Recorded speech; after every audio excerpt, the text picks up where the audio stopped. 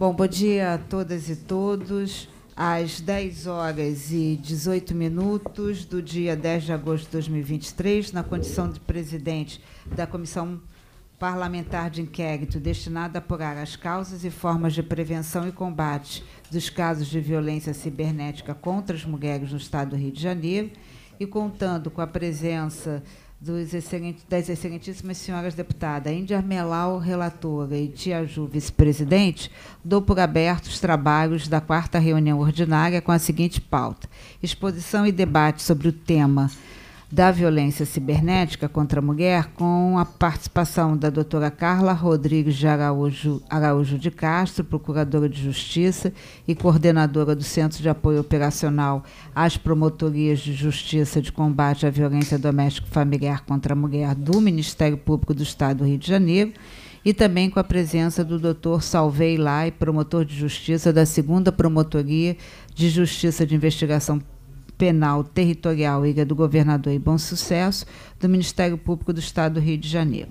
Bom, em primeiro lugar, eu queria agradecer muitíssimo a presença da doutora Carla Araújo. Doutora Carla Araújo é uma representante do Ministério Público, membro do Ministério Público, comprometida diretamente com a causa, uma pessoa que tem aí à frente um importante é, canal de diálogo sobre o tema, que é Vamos Mulherar. Né? Convida todas as mulheres presentes a visitar esse canal pelo Instagram.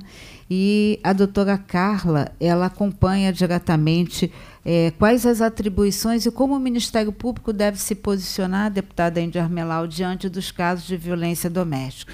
E aí, doutora Carla, apenas já abrindo a palavra a Vossa Excelência, é, o que que, como surgiu essa ideia da violência dessa CPI? Primeiro que essa casa vem desenvolvendo ao longo das duas últimos dois últimos mandatos uma sequência diante da, da apuração do fenômeno da violência.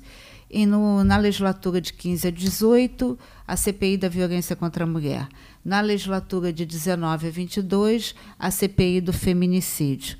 E quando chega em 2023, a gente percebe que é, essa dinâmica da violência ela surge de uma forma é, mais contemporânea, mais moderna, utilizando aí as mídias e utilizando é, a o meio digital, né? Ela não está apenas mais no território físico é, de um chute, de um pontapé, de um empurrão no, dentro de casa, no meio da rua, mas também dentro das mídias sociais. E nós já tivemos a oportunidade aqui de receber um Instituto de Segurança Pública. Então a gente tem verdadeiramente um diagnóstico, ainda que não preciso porque a gente identificou que há uma subnotificação desses casos, né? e na medida em que o Instituto de Segurança Pública não tem ferramentas é, delimitadas, precisas para a identificação do crime, né? há uma necessidade de você migrar para a leitura dos registros de ocorrência para identificar se, por exemplo, aquela violência moral foi feita no território digital, né? mas a gente tem, em tese, um número que já nos dá uma notícia do qual é esse diagnóstico.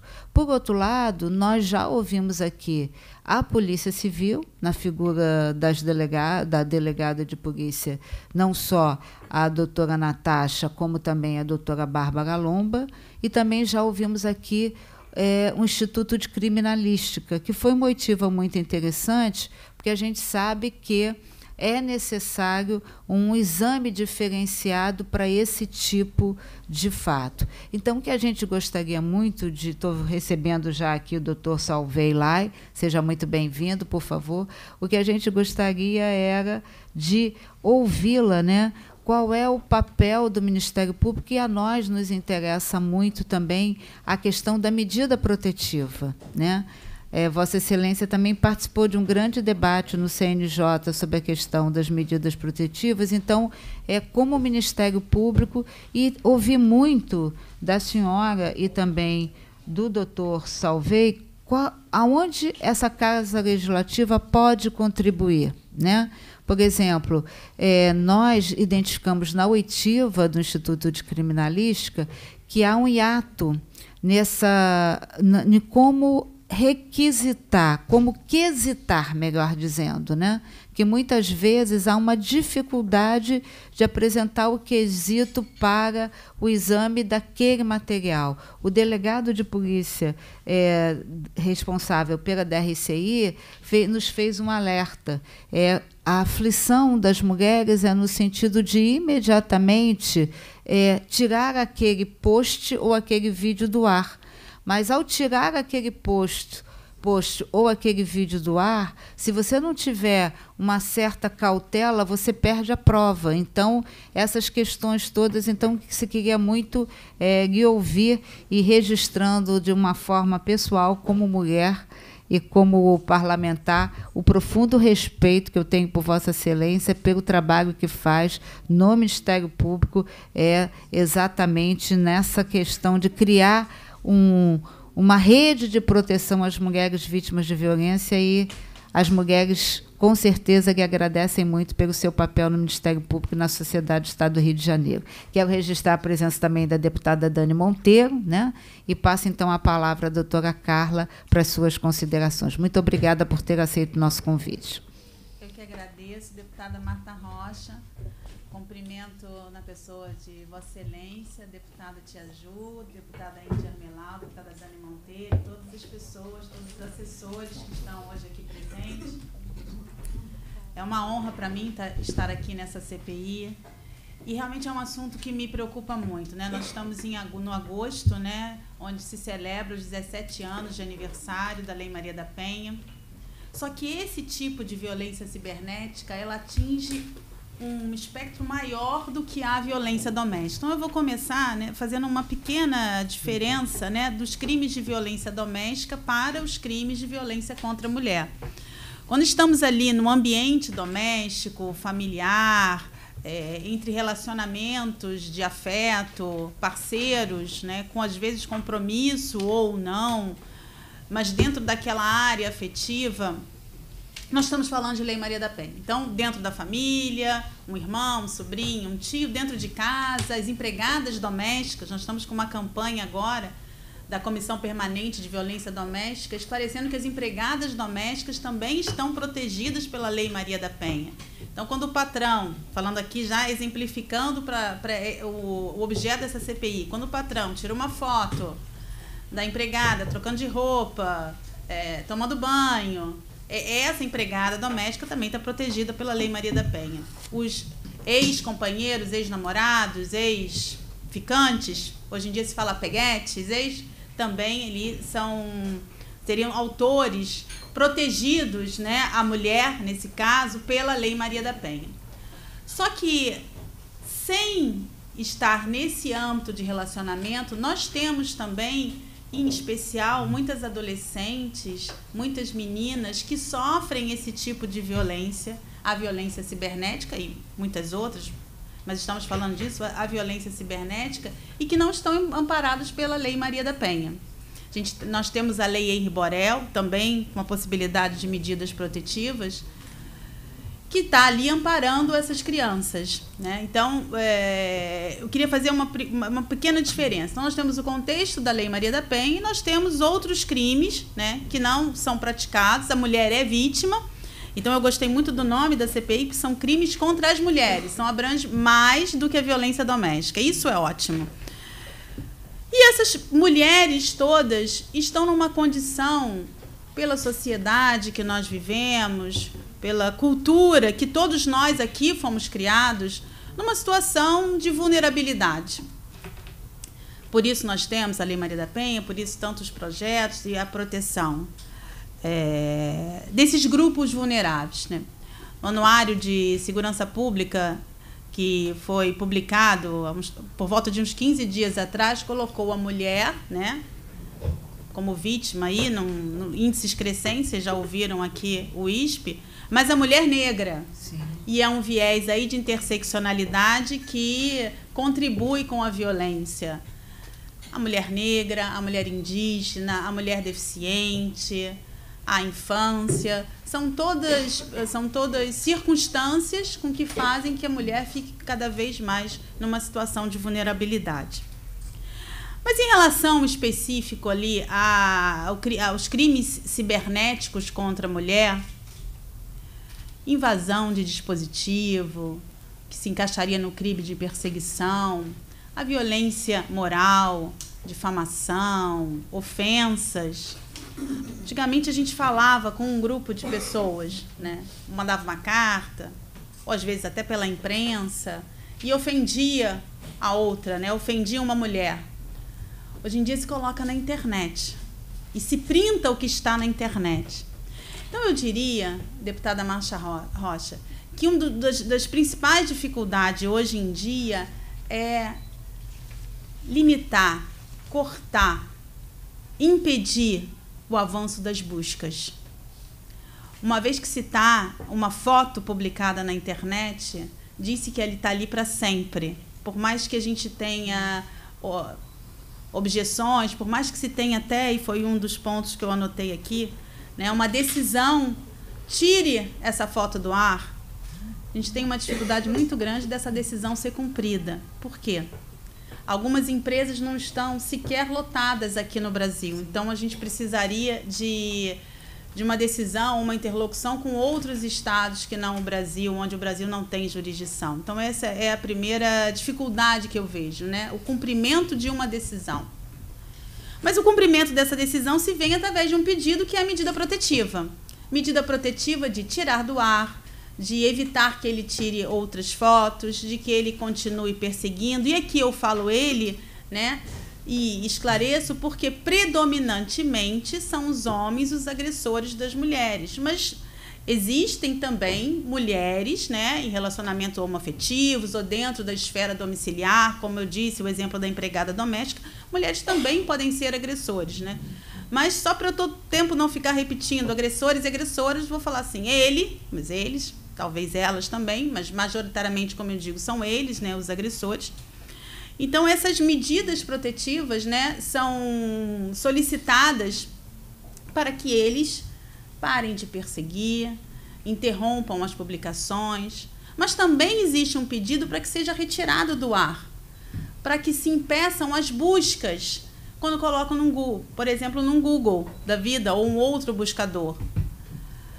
Coloca o nome da pessoa, foto íntima, está publicado.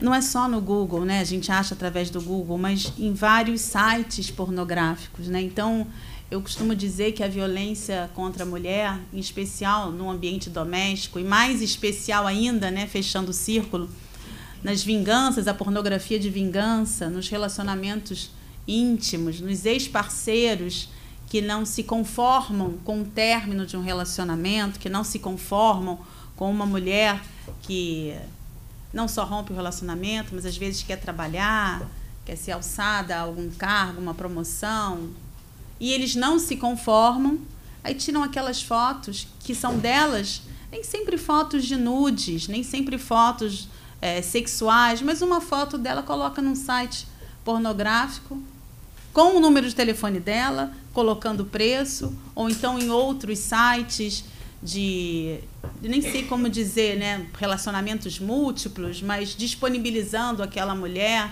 para situações de sexo, uh, de relacionamentos variados, né, colocando aquela mulher como se ela tivesse disponível a isso, com o celular dela. Eu acrescento que um celular é com um e-mail e aí, às vezes, por exemplo, eu vou dar aqui. Esse meu número de telefone tem quase 30 anos, né? Então, todas as pessoas têm meu número de telefone. Se alguém coloca um número de telefone numa situação dessa, o custo para mim. Porque às vezes as pessoas pensam, é só trocar o número de telefone. Não. A minha vida está com esse número de telefone. Todas as pessoas têm esse número de telefone. O meu e-mail, eu tenho o mesmo e-mail. Sou uma pessoa que eu gosto de manter uma certa estabilidade. Então, eu tenho o mesmo e-mail desde antes de eu entrar no Ministério Público. Estou completando 30 anos. Então, assim, Troca de e-mail, faz um outro e-mail. Não, isso tem uma perda para mim. Isso é um, um sofrimento que eu vou ter e realmente uma perda em termos profissionais de abrir mão disso. Então, às vezes, a resolução ela é muito simplista. Troca o chip, troca o número, troca o e-mail, e aí você não vai ter mais contato com isso. Mas aí a mulher, quando vai levar o seu filho para a escola, ou quando vai para o seu ambiente de trabalho e ouve aquele aquele rumor, aquele buchicho, ou está no grupo do WhatsApp, olha essa foto. Por mais que ela diga que não foi, essa foto fica para sempre. E sempre em relação à mulher vai parar uma dúvida. Será que não tem um fundo de verdade? Será que em algum momento ela realmente não estava com interesse no dinheiro dele? Ou que ela não era, vou aqui usar uma expressão, né? A mais leve que eu posso usar nessa casa. Será que ela realmente não é uma vagabunda? Será que ela estava realmente disponível ali para todos aqueles homens? Ou será que realmente foi ele que fez isso porque foi está é, tá sendo vingativo, não aceitou o fim do relacionamento? Então, assim, uma preocupação que eu tenho é que aquela foto, aquela ofensa que está no Facebook, que está num site de pornografia, aquilo seja efetivamente retirado da rede. A gente sabe que o efetivamente retirado da rede sempre pode ter um print, sempre pode ter um download, mas que isso seja visto com uma seriedade muito grande por conta de todos os poderes, né, incluindo aqui o poder legislativo.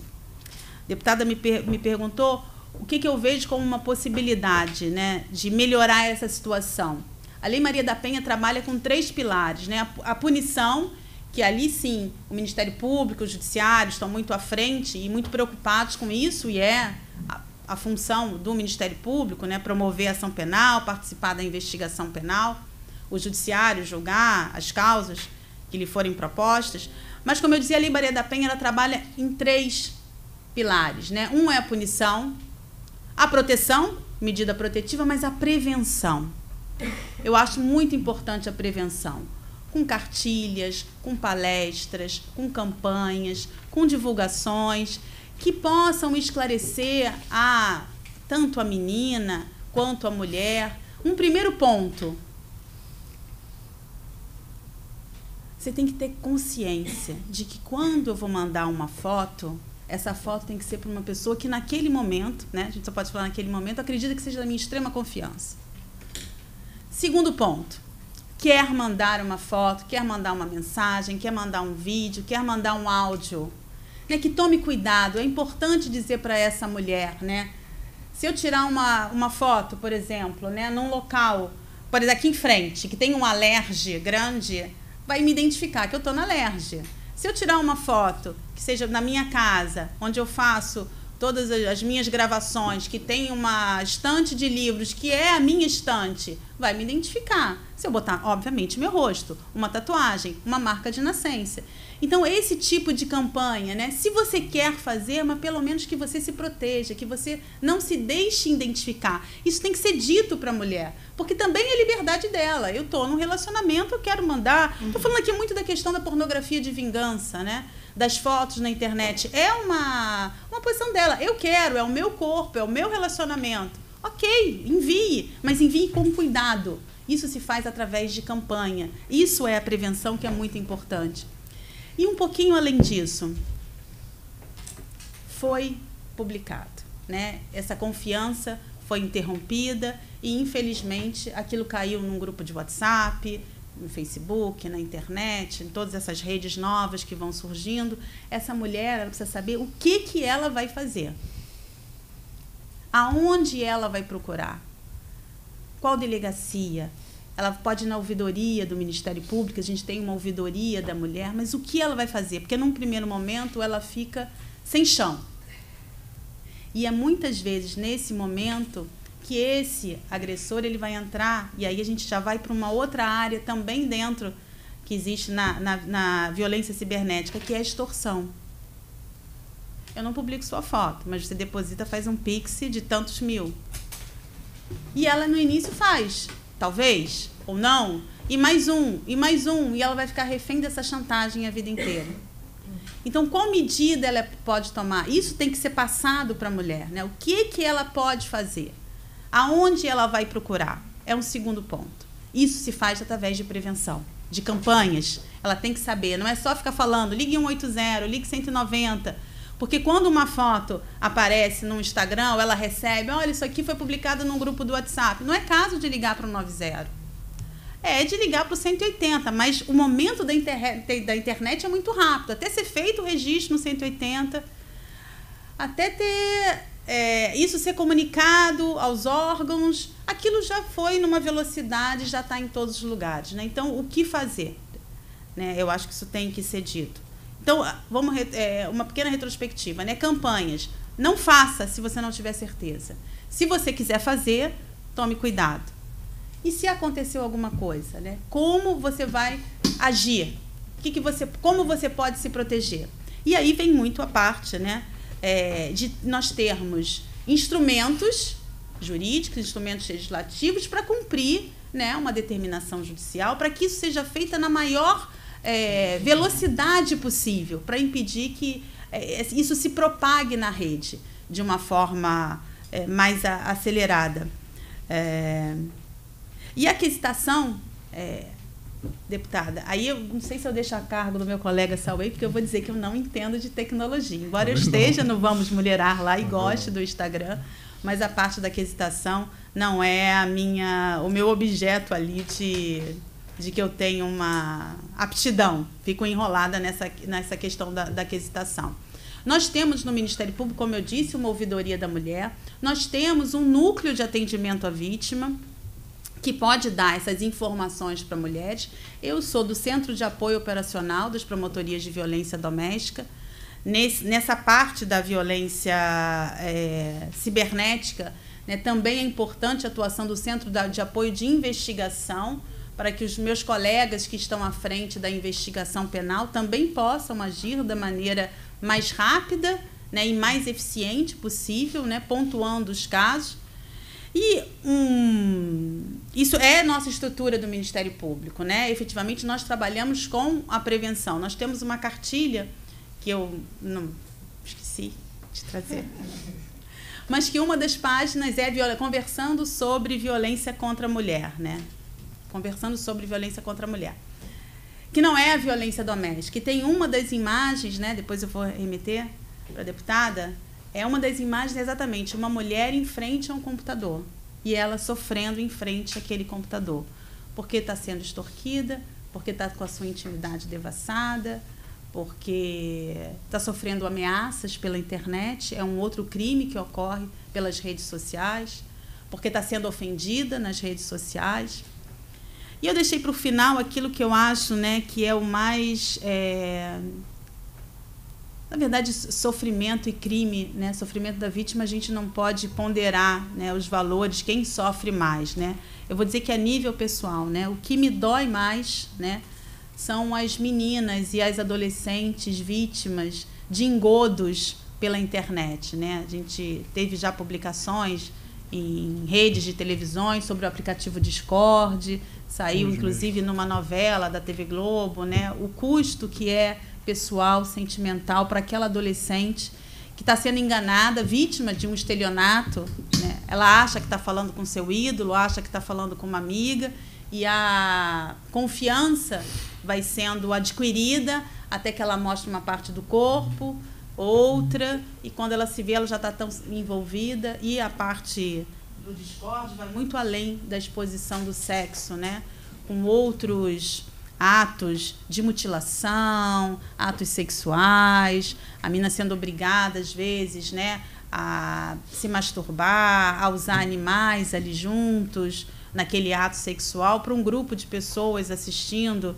Já tivemos algumas pessoas presas no estado de São Paulo, processo aí, acho que por vários estados do Brasil, mas é, é, é um ponto que eu acho que deve ser tratado, né, deve ser pontuado nós temos que falar sobre isso, né? Então, quando eu digo, né, que as meninas foram mutiladas, foram obrigadas a se masturbar, animais domésticos que são mortos ali na frente das câmeras, ou trazer esses animais para o contexto sexual, a gente não pode fingir que isso não está acontecendo, porque isso, isso efetivamente está, está acontecendo com mulheres e com meninas. Então a gente tem que assumir, assim, não vou colocar isso debaixo do tapete. Isso é cruel, isso é ruim, isso acontece com um grupo de mulheres e o que, que nós podemos fazer? Eu acho que é muito esse o objetivo dessa CPI, que mais uma vez aqui eu estou parabenizando a LERJ é, em especial a presidente dessa comissão, a deputada Marta Rocha, por estar falando sobre isso, né? pensar em reflexões. Eu costumo dizer que esse mês de agosto né, não é um mês de celebração, né, é um mês de reflexão. O que, que nós podemos fazer para melhorar essa situação? Então, o que, já me encaminhando para o final da minha fala, eu acho que a gente pode trabalhar muito com a prevenção em todas as áreas, crianças, mulheres, idosas que também sofrem, é, eu estava numa jornada da Lei Maria da Penha agora, né? Cheguei ontem e uma das oficinas né, era de, de, dizer respeito às idosas que sofriam violência, porque alguns, é, mais uma vez, eu falo homens, mas poderiam também ser mulheres, né? Eles têm ali uma preferência pelas idosas e constrangem estupros com as, as idosas. Então, a rigor, não tem mulher nenhuma que não sofra, né? em todas as áreas, em todos os ambientes, é o mais democrático possível. Então, que essa prevenção chegue em todos os lugares. Vamos nas escolas, vamos nas empresas, vamos nas universidades, vamos na, na, nas casas de convivência dos idosos, porque ali, às vezes, tem alguma uma pessoa que vai praticar algum tipo de violência, fotografe essa idosa. Então, vamos estar em todos os lugares falando sobre isso. E a questão de o que fazer, né? O como essa mulher vai fazer para que ela tome todos os cuidados, mas sempre respeitando. Se ela quiser fazer, né, nós temos que dar o apoio caso isso não aconteça, que aconteça alguma coisa de ser divulgado. Eu acho muito cruel com a mulher eu chegar e falar para ela: você está nessa situação, mas foi você que provocou. Não ela foi manipulada, ela foi induzida, ela foi ameaçada e ela acabou ficando numa situação constrangedora, sendo vítima de um crime. Então, um papel muito que a gente tem adotado no Ministério Público é dar apoio a essa mulher e nunca julgar ela por ela estar nessa situação. Como você aguentou? Como você deixou isso acontecer? Não. A situação aconteceu, ela é vítima e vamos tratar da vítima. E o responsável homem ou mulher, deve ser punido. E não essa inversão de culpa, essa inversão de responsabilidade, que é comum e frequente acontecer nesses ambientes. Então, aqui eu finalizo agradecendo imensamente ser ouvida por essa casa. Doutora Carla, muitíssimo obrigada. Eu vou já passar para os senhores deputados, quero também fazer minhas observações, porque a doutora Carla tem um compromisso, um compromisso logo a seguir, então, para as, as ponderações por parte dos deputados. Antes, quero justificar a ausência do deputado Luiz Paulo e da deputada Franciane, que tinham uma agenda anterior e não conseguiram desmarcar em razão aí das nossas atividades. É, doutora Carla, quando a senhora estava falando, eu me recordei, tia Ju vai se lembrar disso, quando nós fizemos aqui a CPI do feminicídio, nós tivemos, no decorrer do debate, um olhar muito atento à questão da mulher com deficiência. E, para surpresa nossa, no dia que nós queríamos ouvir duas mulheres surdas, né, é, houve uma confusão aí na organização da casa e que nós que tínhamos pedido para que nós tivéssemos aqui tradutoras de Libra, né, se destinou, em primeiro lugar, as duas profissionais para um outro evento no, na sede do nosso plenário e se esqueceu da CPI do feminicídio. Né?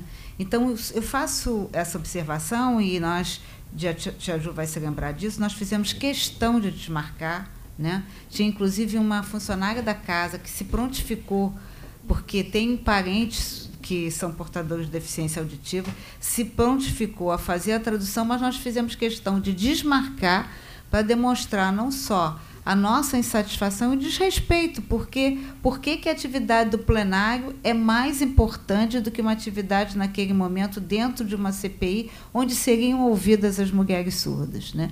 Eu falo isso porque observando os dados, e eu tive a oportunidade de fazer uma rápida análise dos dados do Fórum de Segurança Pública, né, recentemente publicado e dito pela senhora, é, no sentido de que aumentou, sem dúvida nenhuma, a violência contra as mulheres idosas, contra as mulheres negras e contra as mulheres com deficiência. Então, acho que a gente tem que ter essa atenção e, ao mesmo tempo, eu vejo como é difícil, por exemplo, uma mulher surda fazer o uso de 180 ser entendida numa, em sede policial. Né? É chegar um equipamento é, do governo do Estado, seja do que for, se ela usa uma cadeira de rodas, se hoje a gente não tem acessibilidade garantida em todas as nossas cidades. Então, isso já nos mostra o grande desafio. A outra questão que eu achei super interessante que a senhora colocou, né, esse olhar da prevenção. E aí, é, quando se coloca que, se você quiser fazer uma foto, se você quiser fazer um vídeo, né, preferencialmente faça com uma pessoa de, de sua confiança. Mas as mulheres, quando estão no relacionamento afetivo, elas acreditam na seriedade daquele relacionamento, elas acreditam verdadeiramente, né?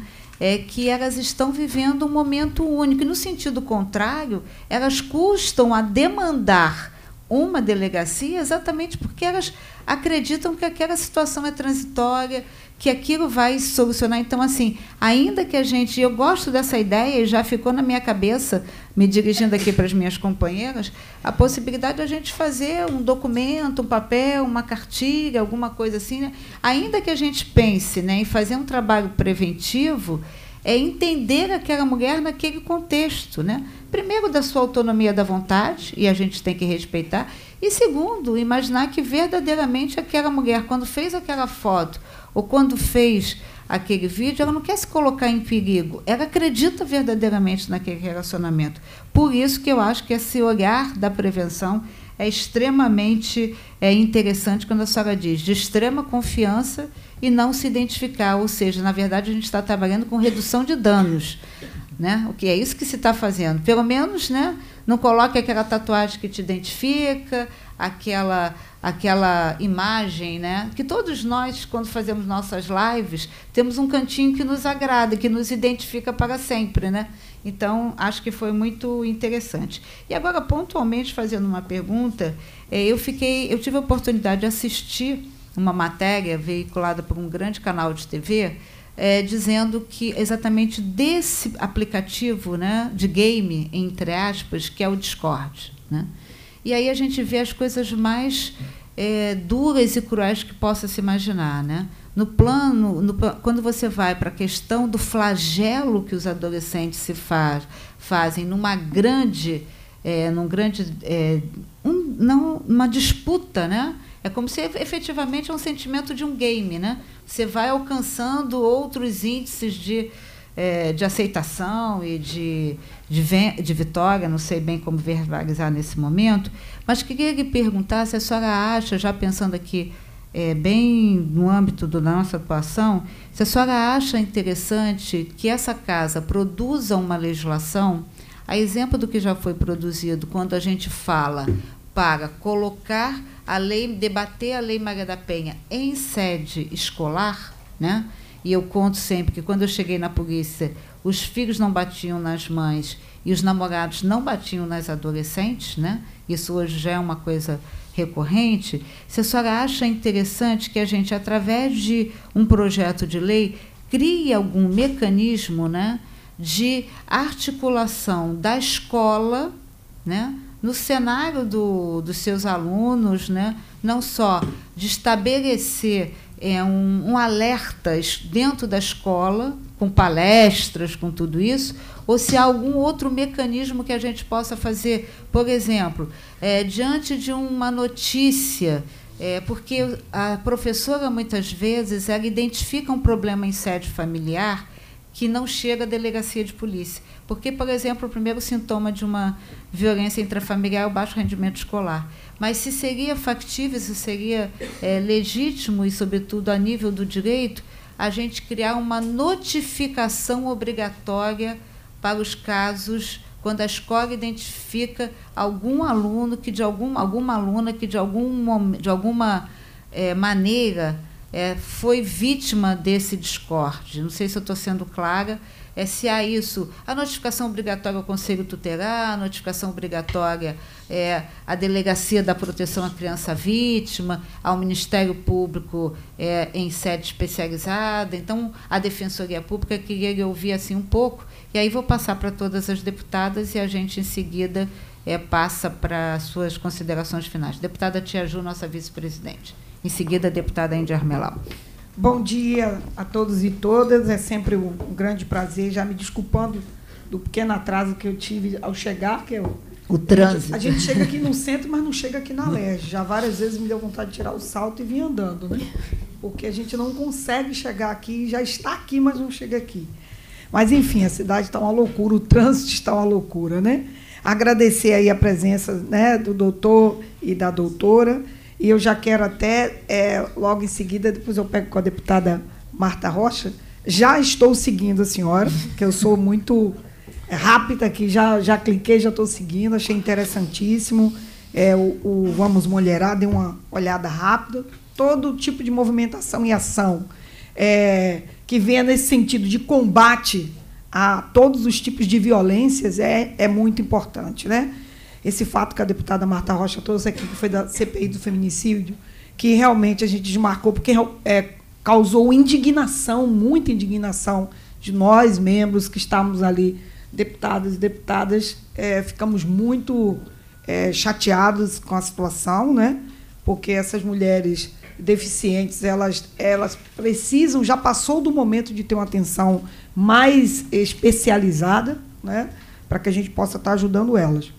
É, quando a senhora fala sobre a prevenção né, de cartilhas, informações, a gente já vê algumas pequenas é, uh, ações do Ministério Público, do Tribunal de Justiça, dessa, é, dessa casa ainda um, no sentido de divulgação, usando mais a TV Alérgio, mas os impressos ainda precisamos melhorar nesse sentido, né? É, é, mas a gente fica assim bem, bem preocupado e pensativo. Eu já quero deixar uma, um questionamento, na verdade, uma pergunta, até para pensarmos juntos. Porque, por exemplo, nós estamos num mês de, de conscientização e, de, de enfrentamento mesmo à violência, é, que é o, o Agosto Lilás. E quando a gente às vezes fala para as pessoas, ah, nós estamos no Agosto Lilás, Agosto Lilás é o quê? E assim, a massa realmente não tem conhecimento ainda com tudo que a gente tem feito, né? E a gente vê que a, o, o meio de comunicação que mais alcança a, a internet alcança muito, mas ainda a máxima é a TV. Qualquer pequena propaganda que é divulgada no intervalo ali de horários é, chamado de horários nobres, ela causa um impacto imenso. E aí a gente sabe que as concessões de TV é um tema né, que é, é assunto federal, mas a gente tem também as TVs e, os, e, e as contratações de mídia pelo poder público, né, nas esferas municipais, estaduais, porque a gente não pensar, deputada Marta Rocha, de pensar algo juntos que a gente possa estar usando ali, porque segundos no horário nobre, segundos é impactante. Chama atenção é, de todos, assim, no intervalo de novelas, no intervalo do, do, de um jornal que é aquele principal daquele horário, seja em qualquer emissora, aí eu estou falando de todas as emissoras, causa um impacto imenso de retorno de informação. E aí a gente já deixa aqui essa. É, é não seria um questionamento, né? O que, a gente pode pensar nesse sentido, até de contrapartida, em cima das contratações é, de publicidade que os, o governo do Estado faz, que os municípios fazem, naqueles horários de TV para divulgação das ações é, da, do executivo. Né? Por que não daquele, daquele bolo Sim. racional de custeio é, 0,000 alguma coisa, que vai, será uma linha, mas será uma linha no orçamento daquele, daquele custeio que vai trazer um impacto imenso e a gente vai alcançar uma massa muito maior. Né? Porque eu tenho observado isso, a massa mesmo é a TV. Que a gente consegue, eu acho que a gente consegue aí é, um avanço. Não quero me alongar muito. É, quando, a, quando a senhora traz a questão das violências, quando nós pro, é, propusemos aqui nesta casa, em 2016, o Estatuto da Mulher Parlamentar e ocupante de cargo, cargos públicos que abrange todos os órgãos e as esferas também, Ministério Público, inclusive as militantes e as cabos eleitorais, que vão para as ruas fazer campanha para a gente. No, na maioria, a gente tem muita mulher Sim. fazendo campanha para a gente nos períodos eleitorais, né? ali pré-determinado pelo, pelo Tribunal é, Superior Eleitoral, e a gente teve muita dificuldade. Eu tive muita dificuldade. Nós propusemos em 2016, com muita dificuldade, a deputada Marta Rocha lembra, tivemos que fazer audiências públicas, trazer é, é, figuras importantíssimas do Brasil todo para trazer o fato, porque se entendia que já havia uma legislação que já era suficiente, que era a Lei Maria da Penha. E a Lei Maria da Penha, bem trazida aqui para a senhora, que foi um grande avanço, né? É, nós ganhamos muito com a Lei Maria da Penha, mas é uma lei restrita à violência doméstica. E a gente estava trazendo ali uma violência que ainda não se discutia, que era violência política. E nós estávamos ali discutindo. E a gente conseguiu, com muitas duras penas, é, aprovar o Estatuto da Mulher Parlamentar e Ocupante de Cargos Públicos em 2019.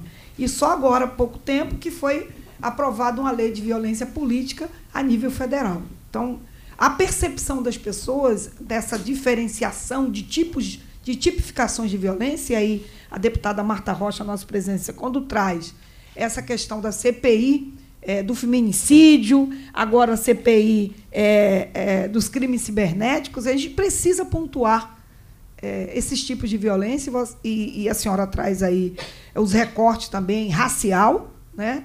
Da mulher negra e eh, das violências que majoritariamente contra as mulheres são os homens, mas que também tem uma pequena parcela de mulheres ofendendo outras mulheres, é, uma série de questões. É, então, é, é, esse tipo de diferenciação ainda tem a, a sociedade como um todo ainda tem dificuldade de entender. E a gente precisa também pensar em como divulgar, em como massificar em todos os espaços para que isso fique bem, né, bem nítido é, quando a senhora traz o que podemos fazer para mudar essa situação, eu, eu, penso que essa questão que eu já coloquei aqui na mesa para todas, da TV, de uma, de uma, parcela de uma linha do orçamento de publicidade, Sim, poder ser destinado realmente via projeto de lei, proposta da CPI, enfim. É, e nós propusemos aqui também uma lei de combate a, é um programa, na verdade, que ainda não foi regulamentado, que a gente está lutando aí para regulamentar, que é de combate à violência contra as mulheres idosas no âmbito do seio familiar, com a Lei Maria da Penha, mas que a gente precisa desse recorte, porque as mulheres idosas tão, estão sendo vítimas agora nos espaços cibernéticos e as meninas, que é uma dificuldade, é um período é, da vida é, do ser humano, que é a adolescência, é um conflito imenso. Eles têm dificuldade de ouvir conselhos dos pais, de ouvir conselhos dos mais próximos. Eles acham que quando damos um conselho, a gente está tolindo a liberdade deles e, na verdade, a gente está tentando protegê-los e acaba caindo nesses laços é, cruéis né, de, de, de, sites, de jogos, que é, é, como a senhora falou aí, tem é, espaços que vai para além da nossa esfera federal, está sediado em outros países, o que a gente pensar como proposta a nível federal, para que a gente possa também ter essa interlocução, pelo menos com os países que a gente tem ali é, um, um, os acordos, né? para que a gente possa dar essa proteção e agilidade. Né? De que forma a gente pode é, agilizar esses, esses processos? Uma das questões, deputada Marta Rocha e as deputadas aqui presentes, e a, e a todos aqui presentes, é a falta de integração das informações. Sim. Isso, isso dificulta muito, porque é, tem que fazer a, a, a, o registro na delegacia e depois o registro, a busca também, de repente, ao Ministério Público, porque essas notificações elas demoram. E a gente está é, precisando urgentemente de um protocolo, um protocolo que, que dê esse direcionamento de integração de informação, sem criar uma nova, uma nova roda. A gente já tem aí dispositivos que já fazem isso, que a gente só precisa fazer essa integração dentro dessa plataforma. São essas minhas contribuições. Desculpa aí a, a é, me estender, mas deixo aqui essas, que eu sei que a doutora vai ter que se ausentar, já dentro, em cima da sua fala. São essas as minhas ponderações. Obrigada. Obrigada, Tia Ju, deputada Índia Armelau, nossa relatora. Bom dia para todos presentes. Tenho duas perguntas, doutora. Existe algum movimento ou projeto do Ministério Público em conjunto com os tribunais ou delegacias para a formação de um banco de dados que possa nortear a adoção de políticas públicas na prevenção e combate aos crimes cibernéticos, principalmente contra as mulheres? E a segunda é, eu me preocupo muito com a superexposição né, de crianças e adolescentes na internet, que eu já falei aqui na CPI passada, o que está intimamente ligado ao aumento do número de casos de grooming, que é quando um adulto se faz de, de criança para poder se aproximar e poder abusar dela sexualmente. Existe alguma forma do Ministério Público intervir junto às empresas intermediárias de internet para obrigá-las a desenvolver mecanismo de controle parental para proteger principalmente as meninas e adolescentes? Essas são minhas duas perguntas, sendo bem direto, que eu sei que a senhora está com área, acho que é de extrema importância a gente conseguir buscar um meio termo ali, nem que seja já para amenizar esse tipo de situação. Obrigada, deputada Índia. Deputada Dani. É, muito obrigada, deputada presidenta Marta Rocha. Saudar aqui a nossa convidada, a doutora Carla. É, saudar nossas deputadas aqui também, Tia Ju, é, deputada Índia Armelau. Bom, acho que muito simplesmente eu gostaria de perguntar para a doutora é, se há algum fórum de âmbito estadual que debata a questão, porque ao longo de sua fala fica nítido né, que eu acho que tem que ter uma, uma força-tarefa, por assim dizer, interinstitucional que reúna os poderes. E aí já deixo aqui também de contribuição para a nossa presidenta se é, verificar né, se há já alguma legislação que fale sobre uma campanha permanente de combate ao assédio e violência nas redes Muito e se a gente possa promover, porque eu acho que envolver, por exemplo, a SEDUC, a Secretaria de Direitos Humanos que cuida é, na, na, organização do Executivo da questão do idoso, envolver também a Secretaria Estadual da Mulher. É, é, é falo isso, inclusive, até por uma experiência que tivemos aqui de construir, e acaba que a pandemia nos atropelou um pouco, mas quando construímos a campanha permanente do assédio enquanto legislação nos estádios, a Secretaria da Mulher abraçou muito a causa e começou a promover ações de combate à violência e ao assédio nos estádios. Então, acho que talvez, obviamente, deputada que te ajuda a base fala da questão orçamentária é sempre um desafio, mas quando falamos de campanha, falamos de orçamentos reduzidos também. Então, deixo para a presidenta é, é, é, talvez essa possibilidade de proposição aqui enquanto algo da CPI e solicito também às nossas deputadas aqui da base do governo que talvez nós possamos promover esse diálogo com as secretarias e pensar não só na legislação aqui produzida pela Alerj, mas na execução de um possível programa, de uma possível campanha permanente. Óbvio que temos o Agosto Lilás, Agosto Dourado, Março de Lutas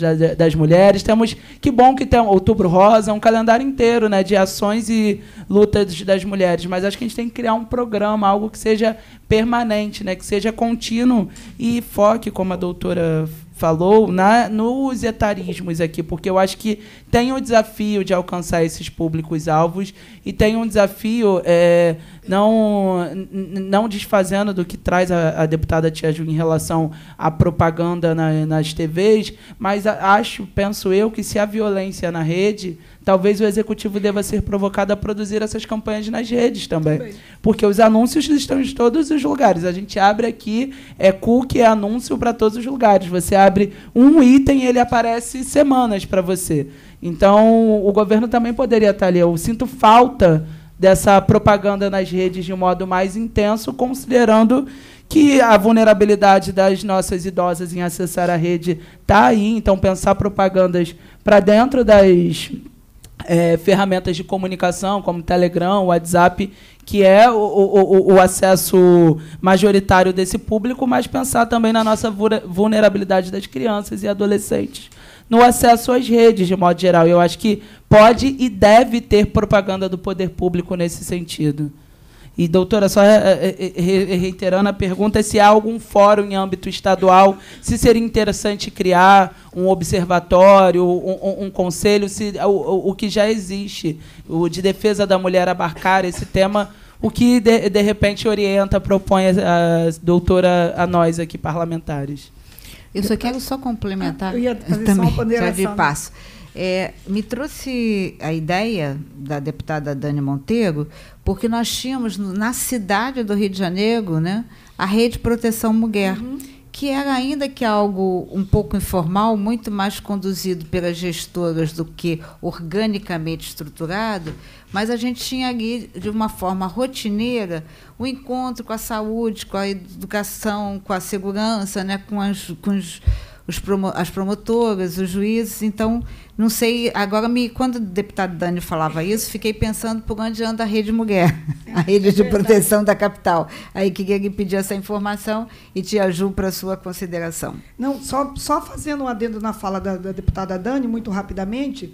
É, é a deputada Dani nós no começo dessa CPI, até via ofício, nós fizemos essa, exatamente essa proposta de trazer as secretarias também para que a gente pudesse aqui pensar junto nessa na formação de um contexto onde envolvesse todos. Então, nós fizemos essa proposta para que todos estivessem integrados, porque é um trabalho de rede, não adianta cada um no, no, no seu universo que a gente não chega a lugar nenhum. Os fios condutores precisam estar interligados e a luz acender com a força de todos. Então, nós tínhamos feito essa proposta. E a questão da TV foi abrindo mais um canal, porque as redes, as redes de, de, mídia, no sentido total, precisam ser feitas intensificadas. Mas quando a gente fala da TV, quando até está sentado no consultório, seja lá o que for, está lá a televisão, aí pá, passa aquele, aquele pop-upzinho rápido que nos impacta e a gente para e começa a pensar sobre aquilo. Mas todas as ações, inclusive nas redes, é, pegando uma linha lá do orçamento também dessa divulgação da rede, seria interessante. É uma linha. Não vai fazer falta. Afinal, né, a importância da política está na sua rubrica orçamentária. É, é isso que a tia Ju está querendo nos Exatamente. alertar.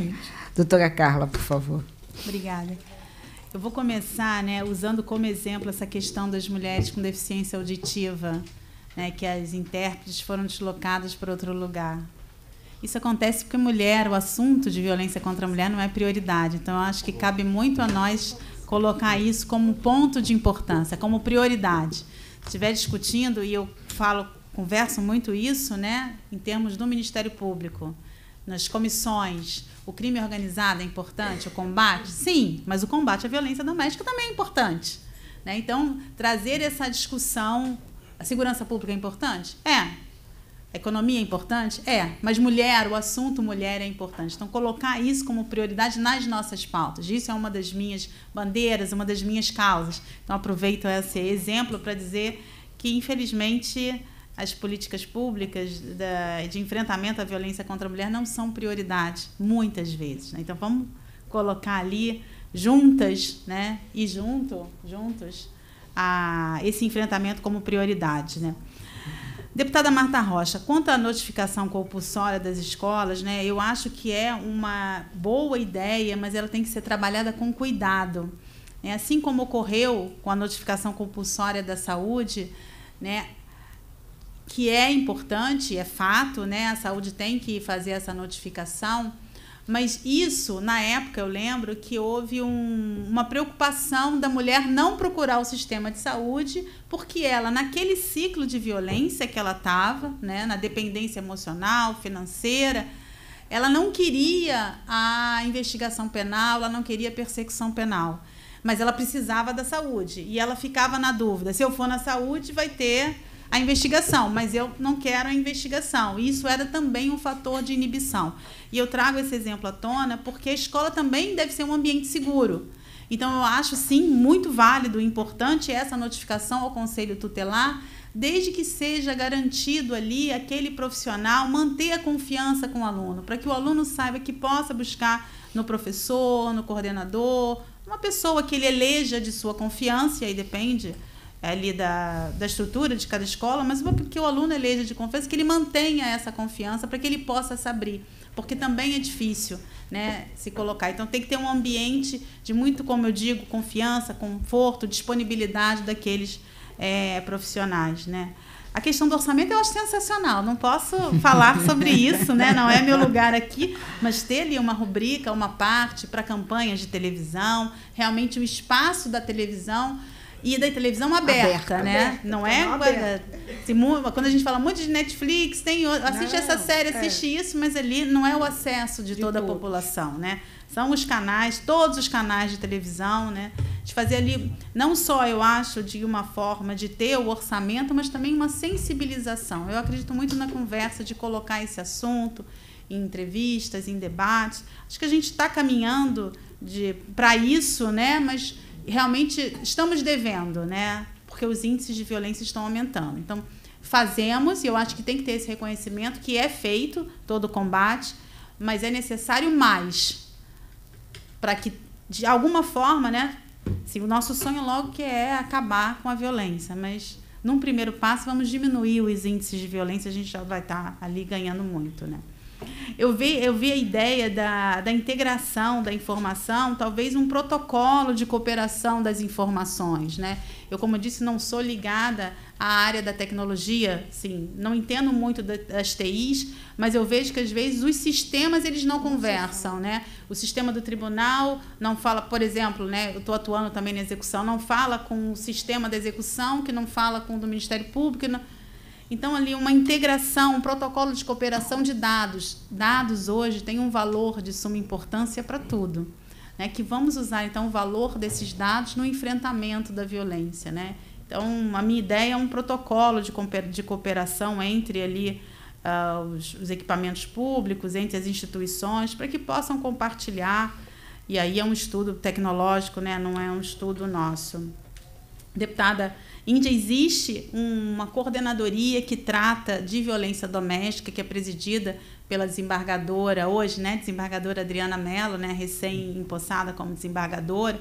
Nós, na época da, da pandemia, a gente se reunia toda semana né, e atingimos ali algumas políticas públicas boas, como o registro de ocorrência online, por telefone, o número 97, campanha do sinal vermelho. Hoje, nós nos reunimos uma vez por mês. Existe uma assessora parlamentar que já foi convidada algumas vezes para se manifestar, eu não tenho o nome aqui é, de qual, mas ela já participou. Mas sim, e assim, é uma coordenação com a presença da Polícia Militar, Polícia Civil, Guarda Municipal, Ministério Público, Defensoria Pública, o Judiciário, os equipamentos públicos, Secretaria da Mulher, tanto do município quanto do Estado. Assim, então, nós nos reunimos para tratar de estratégias e também para, no momento que uma instituição possa ajudar a outra instituição, fazer essa cooperação. Né? Uma conversa aberta, uma conversa horizontal, ninguém mais importante do que o outro. Então, existe essa coordenadoria. É, a próxima, as reuniões são segunda, as primeiras segundas-feiras de todo mês eu vou, vou sugerir né, que sejam, se vocês assim quiserem, né, vocês assim quiserem, que sejam convidadas para participar. Doutora Carla, essa coordenação foi criada em sede do Poder Judiciário?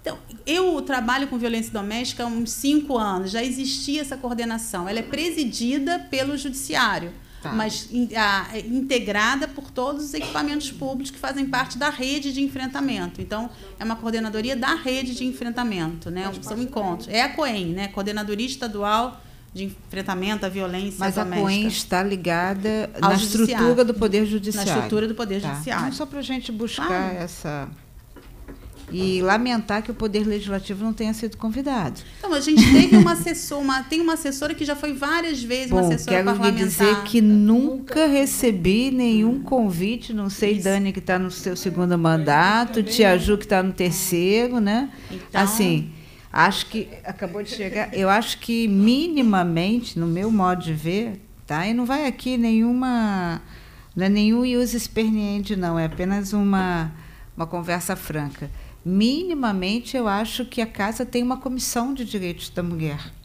Então, assim, se a gente perceber que tudo que você pensa você pode estruturar através do, de um projeto de lei, né? Uhum. A gente está aqui para somar.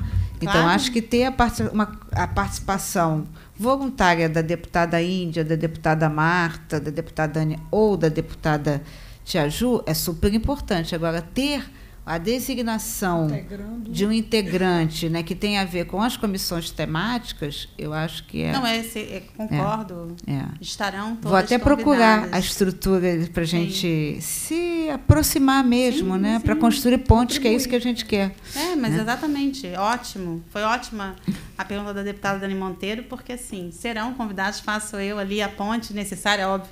Vocês claro. também vão fazer, mas para que isso seja feito, né?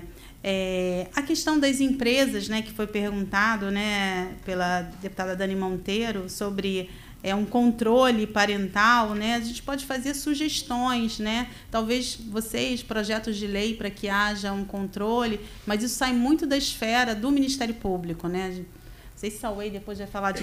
Aproveita, Sauei, as perguntas que me foram feitas, você complementa.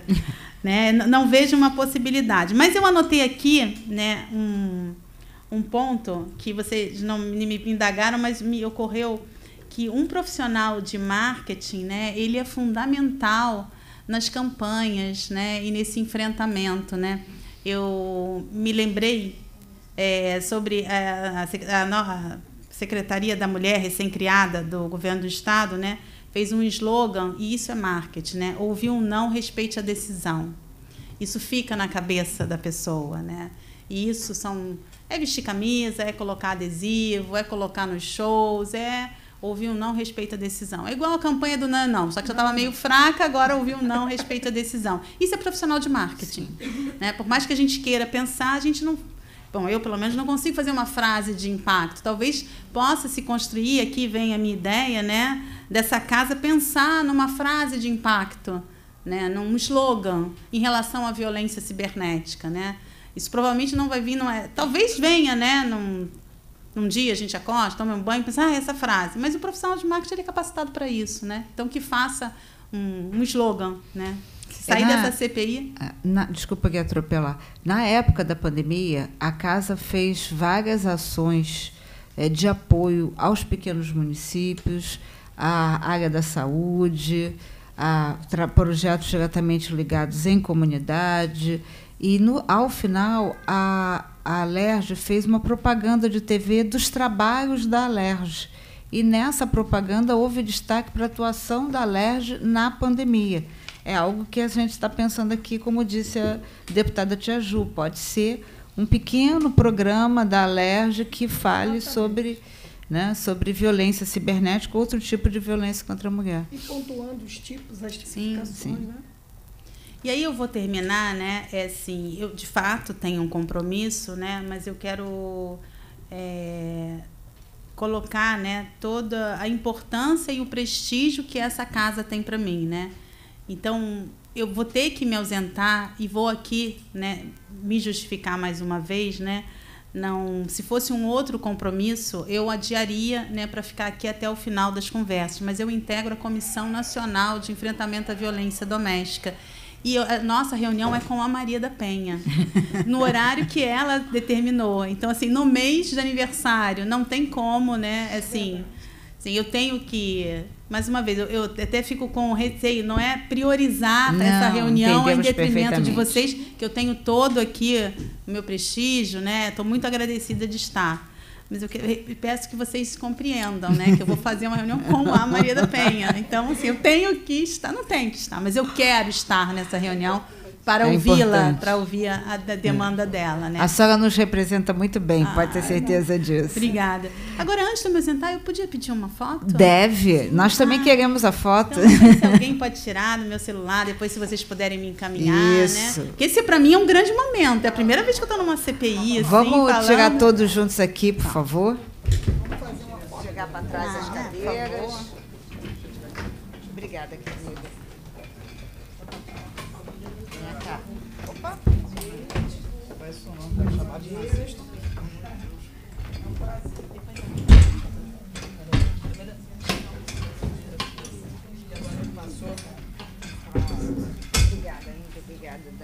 Você chega aqui, vem cá.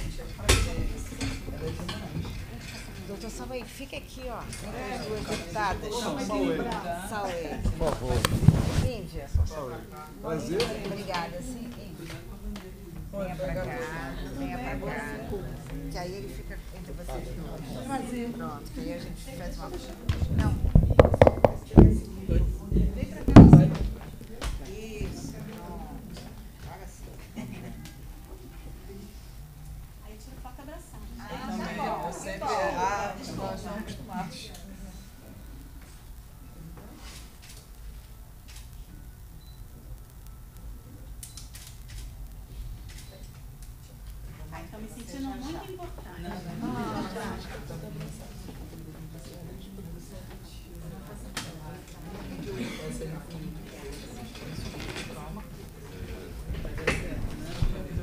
agradecendo mais uma vez a doutora Carla Araújo, pedir aqui a assessoria que nos ajude para trazer o nosso promotor Sauei para mais perto. Doutor aliás, eu estou falando seu nome certo? É Sauei ou, ou Salvei? Não sei. É Sauei É Sauei. Obrigada, doutora Carla. Vai cair, não vai cair? Não, quase. A base está bem. Porque o cálciozinho da base saiu. Ah, dá uma pisada aí, Daniel. Esse cálcio aí. Isso, dá uma pisada, só com o que foi. É esse cálcio que sustenta.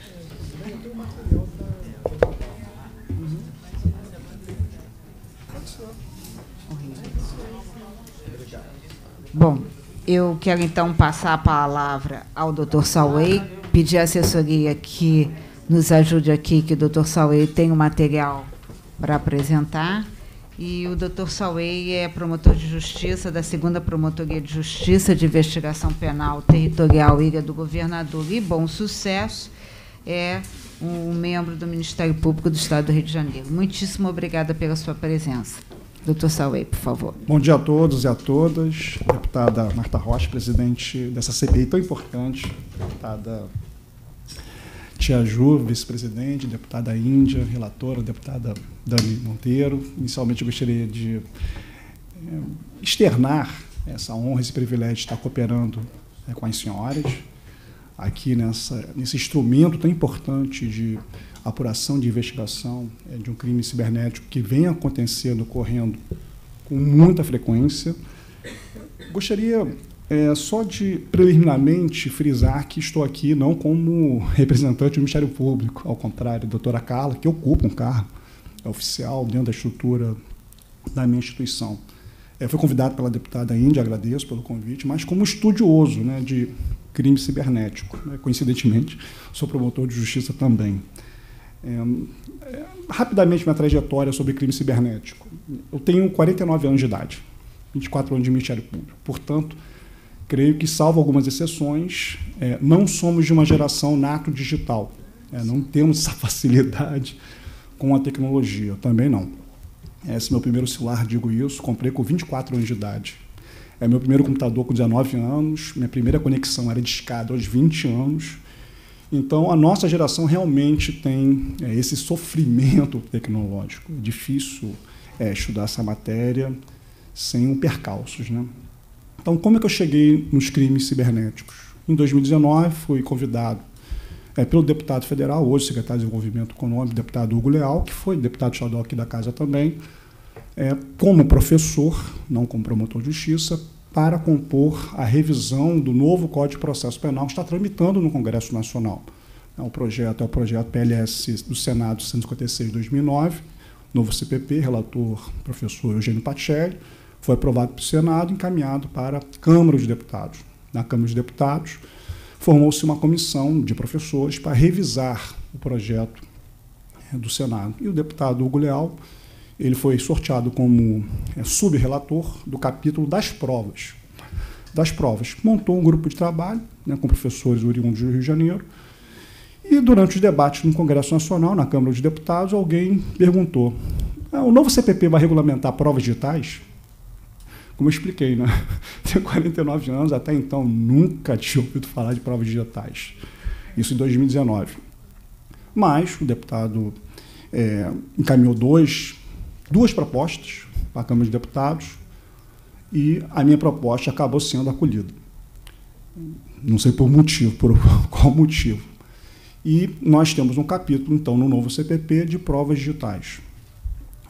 Paralelamente a isso, né, um deputado com aquela habilidade e acessibilidade política, ele percebeu que um novo código demoraria anos para ser aprovado.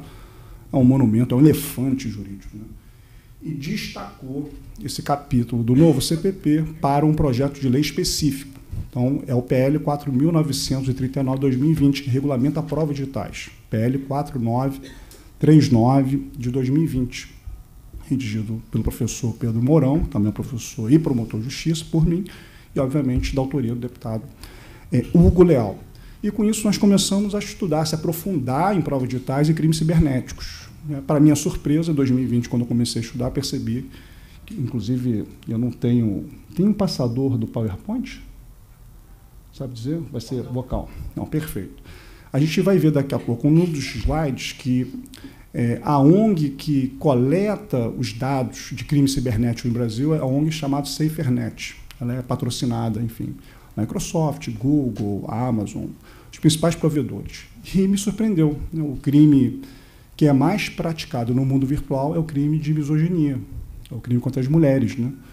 É, salvo engano, no primeiro semestre do ano passado, eu tenho esses dados, são 7.100 casos.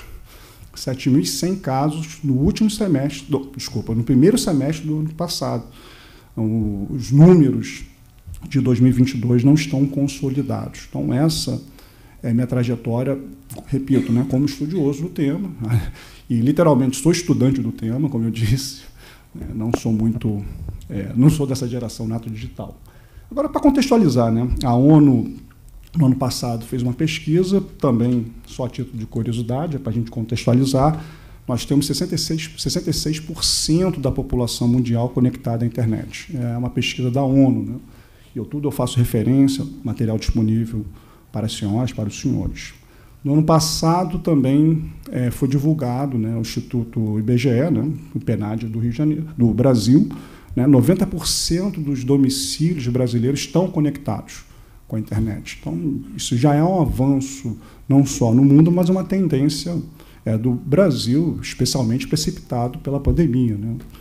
Enfim, portanto, nós percebemos que o acesso à internet hoje, basicamente, é um direito fundamental. Né?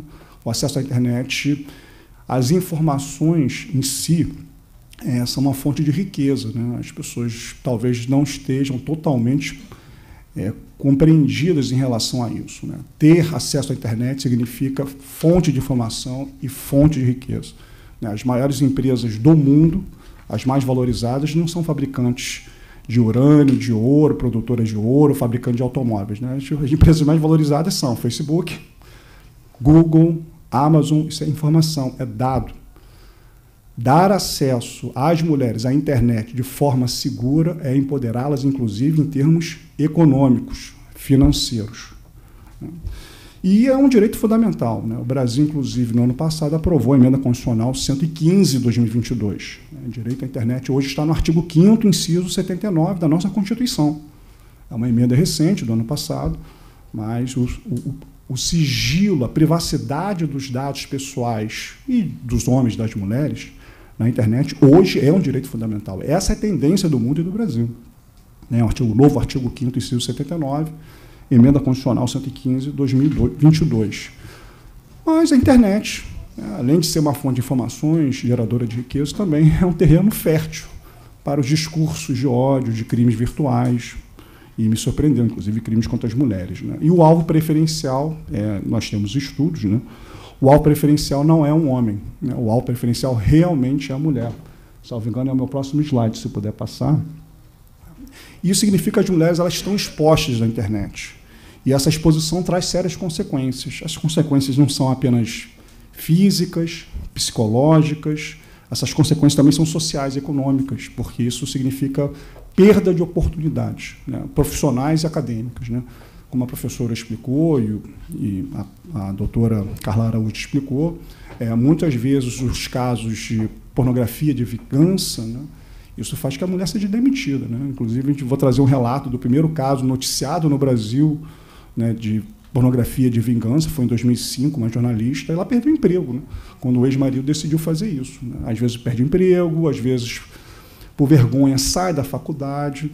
Né? Enfim, então é uma perda de oportunidade né? acadêmica é, e financeira. Está ali, eu não estou conseguindo enxergar direito, porque está um pouco longe, mas se puder ampliar. Enfim, esses dados estão disponíveis. Né? Mas uma pesquisa europeia, é muito interessante essa pesquisa europeia, porque o que se pretende aqui hoje na LERJ, eu parabenizo, né? já existe é, na Europa, eles chamam de um instituto chamado de AGE, né? European Institute of for é, Gender Equality. Então, basicamente, é um instituto europeu que existe desde 2013, justamente para promover essa igualdade de gênero. Né? E nessa pesquisa é, desse instituto europeu mostra que uma em cada dez mulheres né, adolescentes também, a partir de 15 anos, já sofreu violência cibernética. Né, uma em cada dez mulheres, é muita coisa.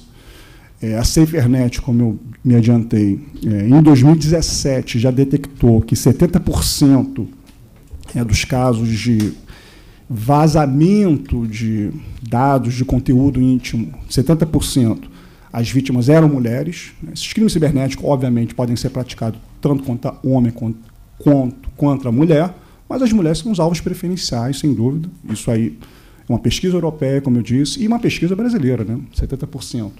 Nós temos mulheres como vítimas de exposição de conteúdo pornográfico e 62% é de violência, inclusive é, com estupros virtuais. Aliás, a, a doutora deputada Marta Rocha cita hoje, e outros deputados também, o Discord, hoje, inclusive, até acabei de postar no meu Instagram, hoje, no Foz do Iguaçu, Paraná, uma nova operação né, em relação ao uso dessa plataforma de games. É, 1.700 imagens de crianças, é, meninas e meninos, foram apreendidos com um estudante de psicologia né, e 300 vítimas já foram identificadas. Quer dizer, hoje está falando disso e hoje de manhã já se deflagrou uma operação é, pela Polícia Civil é, do Paraná. Então, é, a grande maioria envolve, obviamente, como eu disse, é, mais as mulheres. O alvo preferencial, o target, são as mulheres. Né? E como está no dado, e eu me adiantei antes, é, a SaferNet, em 2023, no início de 2023, divulgou seu balanço é, parcial, né?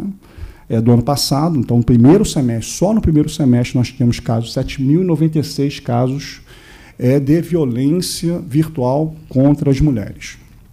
O meu próximo slide, se puder passar, por favor. É uma, uma grande preocupação nossa quando estuda o crime virtual é achar que existem dois mundos diferentes. E não existem esses dois mundos diferentes, né? eles se interligam. Né? Vou citar dois casos, sem querer polemizar muito, só para a gente entender, mas é, invasão do Capitólio norte-americano, 6 de janeiro de 2018, começou na internet. Houve uma invasão do Capitólio. Né? 8 de janeiro é, do ano passado, preciso dizer, desse ano, né? tivemos a invasão do Congresso Nacional. Isso tudo começou, de novo, é, nas redes sociais. E crime contra a mulher também. Né? O que começa, na verdade, é, nas redes sociais pode aguar no mundo real, ou vice-versa. Né? O que acontece no mundo o que acontece no mundo real pode continuar é, no mundo virtual. Então, eu tenho muito cuidado né, quando eu uso crime virtual, crime real, porque, na verdade, eles se interligam. Né? É, inclusive, tem uns dados aí, eu não estou conseguindo enxergar de longe, mas o material está disponível, como eu disse. É, nessa pesquisa do Instituto Europeu, parece que 54% é, das mulheres que foram vítimas de um crime virtual elas conheciam o seu agressor no mundo real. Dizer, então, existe essa interligação, né? e a gente tem que ter é, essa consciência né, de separar bem, de não, na verdade, separar é, essas duas realidades, virtual e, e físico, digamos assim. É, outro dado que eu trago também, para ver essa interligação, é, em 2018 foi noticiado né, os dois primeiros casos de estupros no mundo real transmitidos ao vivo pelo Facebook, né? nos Estados Unidos e na Suécia. Então, a gente está cada, cada, vez mais vendo essa mesclagem né, do mundo virtual com o mundo real. E isso tem uma consequência drástica. Né? As mulheres e as meninas acabam, às vezes, se retirando do, do mundo virtual, digamos assim, da internet, né? por medo, por vergonha, enfim. Elas acabam saindo da esfera digital quando são vítimas desses crimes cibernéticos. E, repito, isso acarreta uma série de prejuízos a essas mulheres, né, essas meninas. Né? E o prejuízo é, não só é financeiro, psicológico, físico, social, acadêmico, mas, às vezes, como a própria a doutora Carla disse, às vezes acontecem em casos de suicídios. Né? Nós sabemos que, aqui, inclusive, no Brasil, já tivemos dois casos no ano passado de meninas que foram vítimas né, de exposição é, de fotos íntimas que acabaram se matando. Então, é um caso que a gente tem que pensar muito pela gravidade, né, pelo potencial lesivo. Se puder passar o próximo slide. É, salvo engano, essa CPI já teve a oportunidade de ver com a professora Natasha né, sobre os principais crimes é, cibernéticos, virtuais, cometidos contra as mulheres. Né. Nós temos o primeiro, é o cyberbullying, né, todo mundo sabe o que é o bullying, né? basicamente são comentários, ataques, insultos né? contra pessoas, e no caso aqui contra as mulheres, é, é o crime mais comum é, dos crimes cibernéticos contra as mulheres. Aqui no Brasil, a gente conseguiria tipificar como crimes contra a honra, né? do artigo 138. Ah, o legislador federal muito bem fez isso no ano retrasado, acrescentou uma causa de aumento de pena no parágrafo 2 é, do artigo 141, né, crimes praticados, crimes contra a honra praticados no mundo virtual têm essa pena triplificada, né, como diz o artigo 141, parágrafo 2 é, do Código Penal. Recentemente, é, se puder passar o slide, nós também tivemos uma nova tipificação do crime de violência é, psicológica, né, do artigo 147b, né, o Código Penal também traz isso. Recentemente, nós, no Código Penal, o legislador federal tipificou esse crime de violência, do, violência psicológica, o que poderia caracterizar, é, nesses casos, de bullying. Aqui eu sempre faço um, um, alerta, desculpa fazer esse paralelo, talvez o tema seja até chato, porque é um tema mais acadêmico, né? Mas, ao contrário do 141, no 147B, a gente não tem uma causa de aumento de pena para Sim. crimes virtuais. Né? E eu percebi isso é, no Congresso Nacional. Né? Essa falta de diálogo entre instituições, que é tão importante, existe também numa falta de sistematização da nossa legislação brasileira. Então, Nesse crime 147A-B, desculpa, porque o 147A também tem o mesmo problema, que é do stalking, que é o novo crime. O stalking, que é a perseguição reiterada do 147A, são crimes definidos pelo legislador federal, mas eu acho que o legislador ele esqueceu de colocar de aumento de pena, tanto para a violência psicológica do 147B, quanto para o stalking no 147A. E todo mundo sabe né, que uma violência psicológica ou um stalking no mundo virtual tem um potencial lesivo muito maior. O legislador ele percebeu isso no crime contra a honra, né? no 141, parágrafo 2 e parece que, por falta de diálogo, de conversa, ele não repete essa causa de aumento de pena para outros tipos de crimes que as mulheres sofrem na internet, como é o caso, repito, do stalking do 147A e da violência psicológica do artigo 147B. Por sinal, é o próximo o slide, por favor, que fala da perseguição é cibernética, o segundo crime mais comum praticado contra a mulher, né? É o stalking, né? que basicamente é repetição de atos né?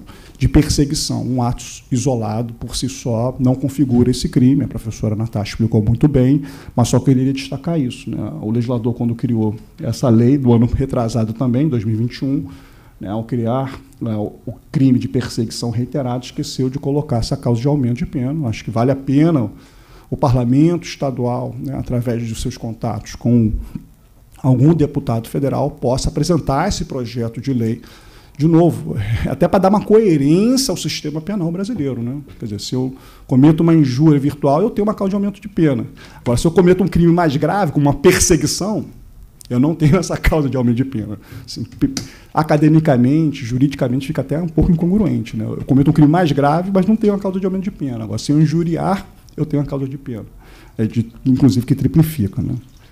É, se você puder passar o próximo slide, é que a gente estava falando bastante. Né? Agora tem essa crescente, está em terceiro lugar, a pornografia é, não consensual, né? que é pornografia por vingança. É quando esse, essa, esse autor do fato, normalmente é um homem, e normalmente a vítima é mulher, né? em 70% das vezes, como a gente viu na ONG SaferNet, mas é claro, mulher também pode fazer isso contra um homem, né? mas a grande maioria, é, a vítima é a mulher e o autor do fato, esse agressor, ele é o homem, né? isso na estatística da, da ONG SaferNet do ano passado.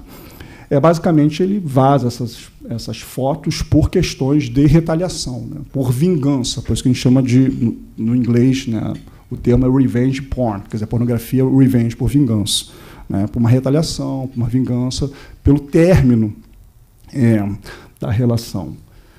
É, é, um novo tipo de crime, né? É, tanto é que no Reino Unido foi o primeiro país a se punir isso, foi em 2015, né, está no slide. É, 2015 nós temos a primeira é, tipificação é, pela Grã-Bretanha e no Brasil isso chega é, três anos depois, né, em 2018. Né, hoje nós temos é um novo crime do artigo 208C, né, artigo 218C, que trata de compartilhamento, é, de divulgação de cena de fotos íntimas, pornográficas sexuais né, não autorizados. Salvo engano, a professora Natasha também já comentou sobre isso, e, portanto, passo mais rápido sobre esse, esse ponto. É, gostaria de chamar a atenção que o primeiro caso que foi divulgado no Brasil, como eu, como eu citei no início da minha fala, foi em 2005. Né? Foi um caso famoso, o empresário Eduardo contra uma jornalista Rose, foi com a, a própria doutora Carla Araújo falou, é uma coisa até meio padrão, não? ele usou fotos da sua ex-esposa, é, nua, íntima, né? fotos íntimas, é, pornográficas, criou um website e anunciou é, a sua ex-mulher, a Rose, como garota de programa. Né? E deu o contato, ou seja, o telefone dela e, pior, dos filhos. Isso que é o pior. E dos filhos também. Então, muitas pessoas começaram a ligar por celular dela e dos filhos. É, no final, da história. Um, ela foi demitida. Dois, ela saiu do mestrado dela. Três, o filho se mudou do país. Né? E quatro, a filha que quis ficar no país teve que se mudar da escola diversas vezes. Portanto, como eu disse, a perda dessa mulher não é uma perda apenas psicológica. A perda familiar é uma perda acadêmica, uma perda profissional, uma perda econômica. Ela hoje, Rose, criou um site chamado uma rede de apoio Marias na Internet, né? Marias na Internet, que vai prestar essa assistência é, para mulheres na mesma situação. Mas são, são redes de apoio pontuais, né? não existe essa interlocução. E aí, de novo, né, parabenizo essa casa para a gente tentar articular, porque é uma das conclusões que eu chego, né? essa articulação tão fundamental que não existe, talvez, com, com a eficácia necessária. Né?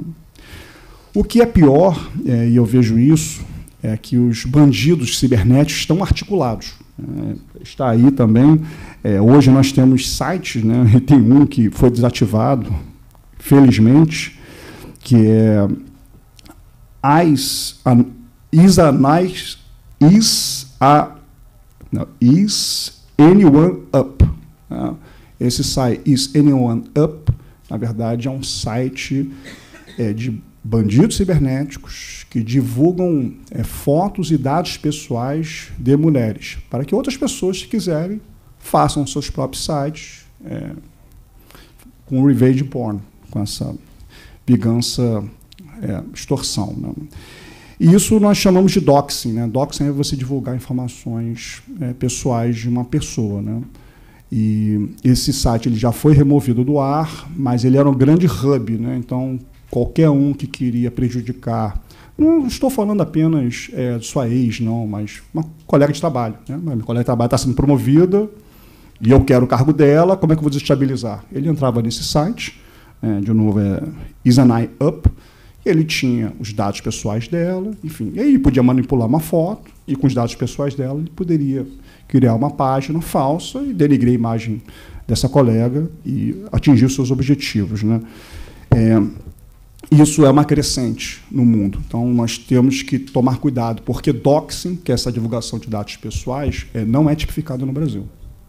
Esse vazamento de dados não é crime no Brasil. Claro, pode gerar ação indenizatória, ação civil, mas não temos uma tipificação suficiente.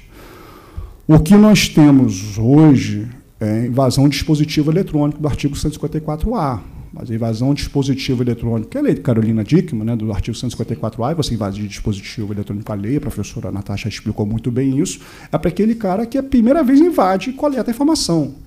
Mas se ele relata por ter, se ele encaminha para o terceiro, o terceiro divulga, crime não existe. Né? Crime cibernético não existe. Né? O que eventualmente a gente pune criminalmente é aquele que consegue coletar pela primeira vez o dado pessoal, porque ele está invadindo o dispositivo para obter essas informações. Né? Então, assim, é uma coisa a se pensar também. Né? Você pode, acho que, acho dois slides, por favor, porque o primeiro, que o segundo, é, pode pular, pode pular, que é do Isanai New, e esse é o é, pode passar também, que eu falei, do 218A, registro. É, pode pular também. O doxing, como eu falei, que eventualmente pode caracterizar a invasão de dispositivo alheio, pode pular. E a extorsão, é, enfim, sexual extortion, né, que é a extorsão é, sexual, porque aí não é vingança, né, o objetivo desse autor do crime, basicamente, é oferir ganhos financeiros patrimoniais ilícitos. Né? Então, é, muitas vezes, foi o que aconteceu, inclusive, com a Carolina Dickman. Né? O hacker invadiu o dispositivo e depois é, exigiu uma determinada quantia para não divulgar essas fotos. No Brasil, hoje, nós caracterizamos como crime de extorsão.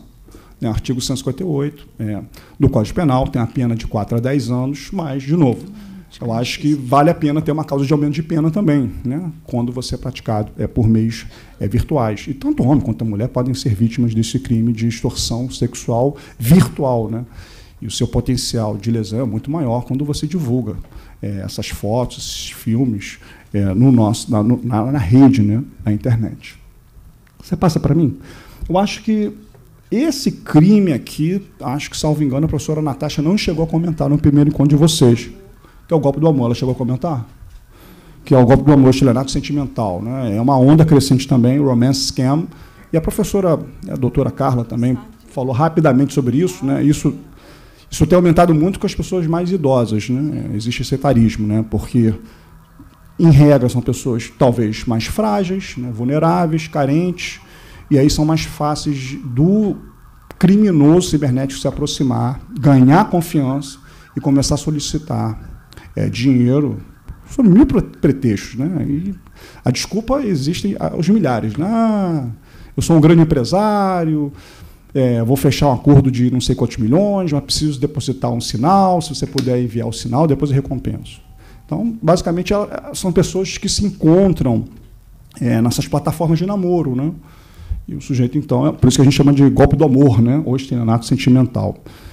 Hoje nós tipificaríamos como fraude eletrônica, né? artigo 151, parágrafo 2 né? que é do Código Penal, né? 171, desculpa, 171, parágrafo 2 A do Código Penal, mas acho que é, é, discutível isso, né? a questão da tipificação, porque o artigo 171, parágrafo 2A, ele é muito genérico. Né? Acho que valeria o legislador pensar num tipo penal mais específico, né? quando você envolve os sentimentos de uma pessoa, até para poder é, aumentar a pena.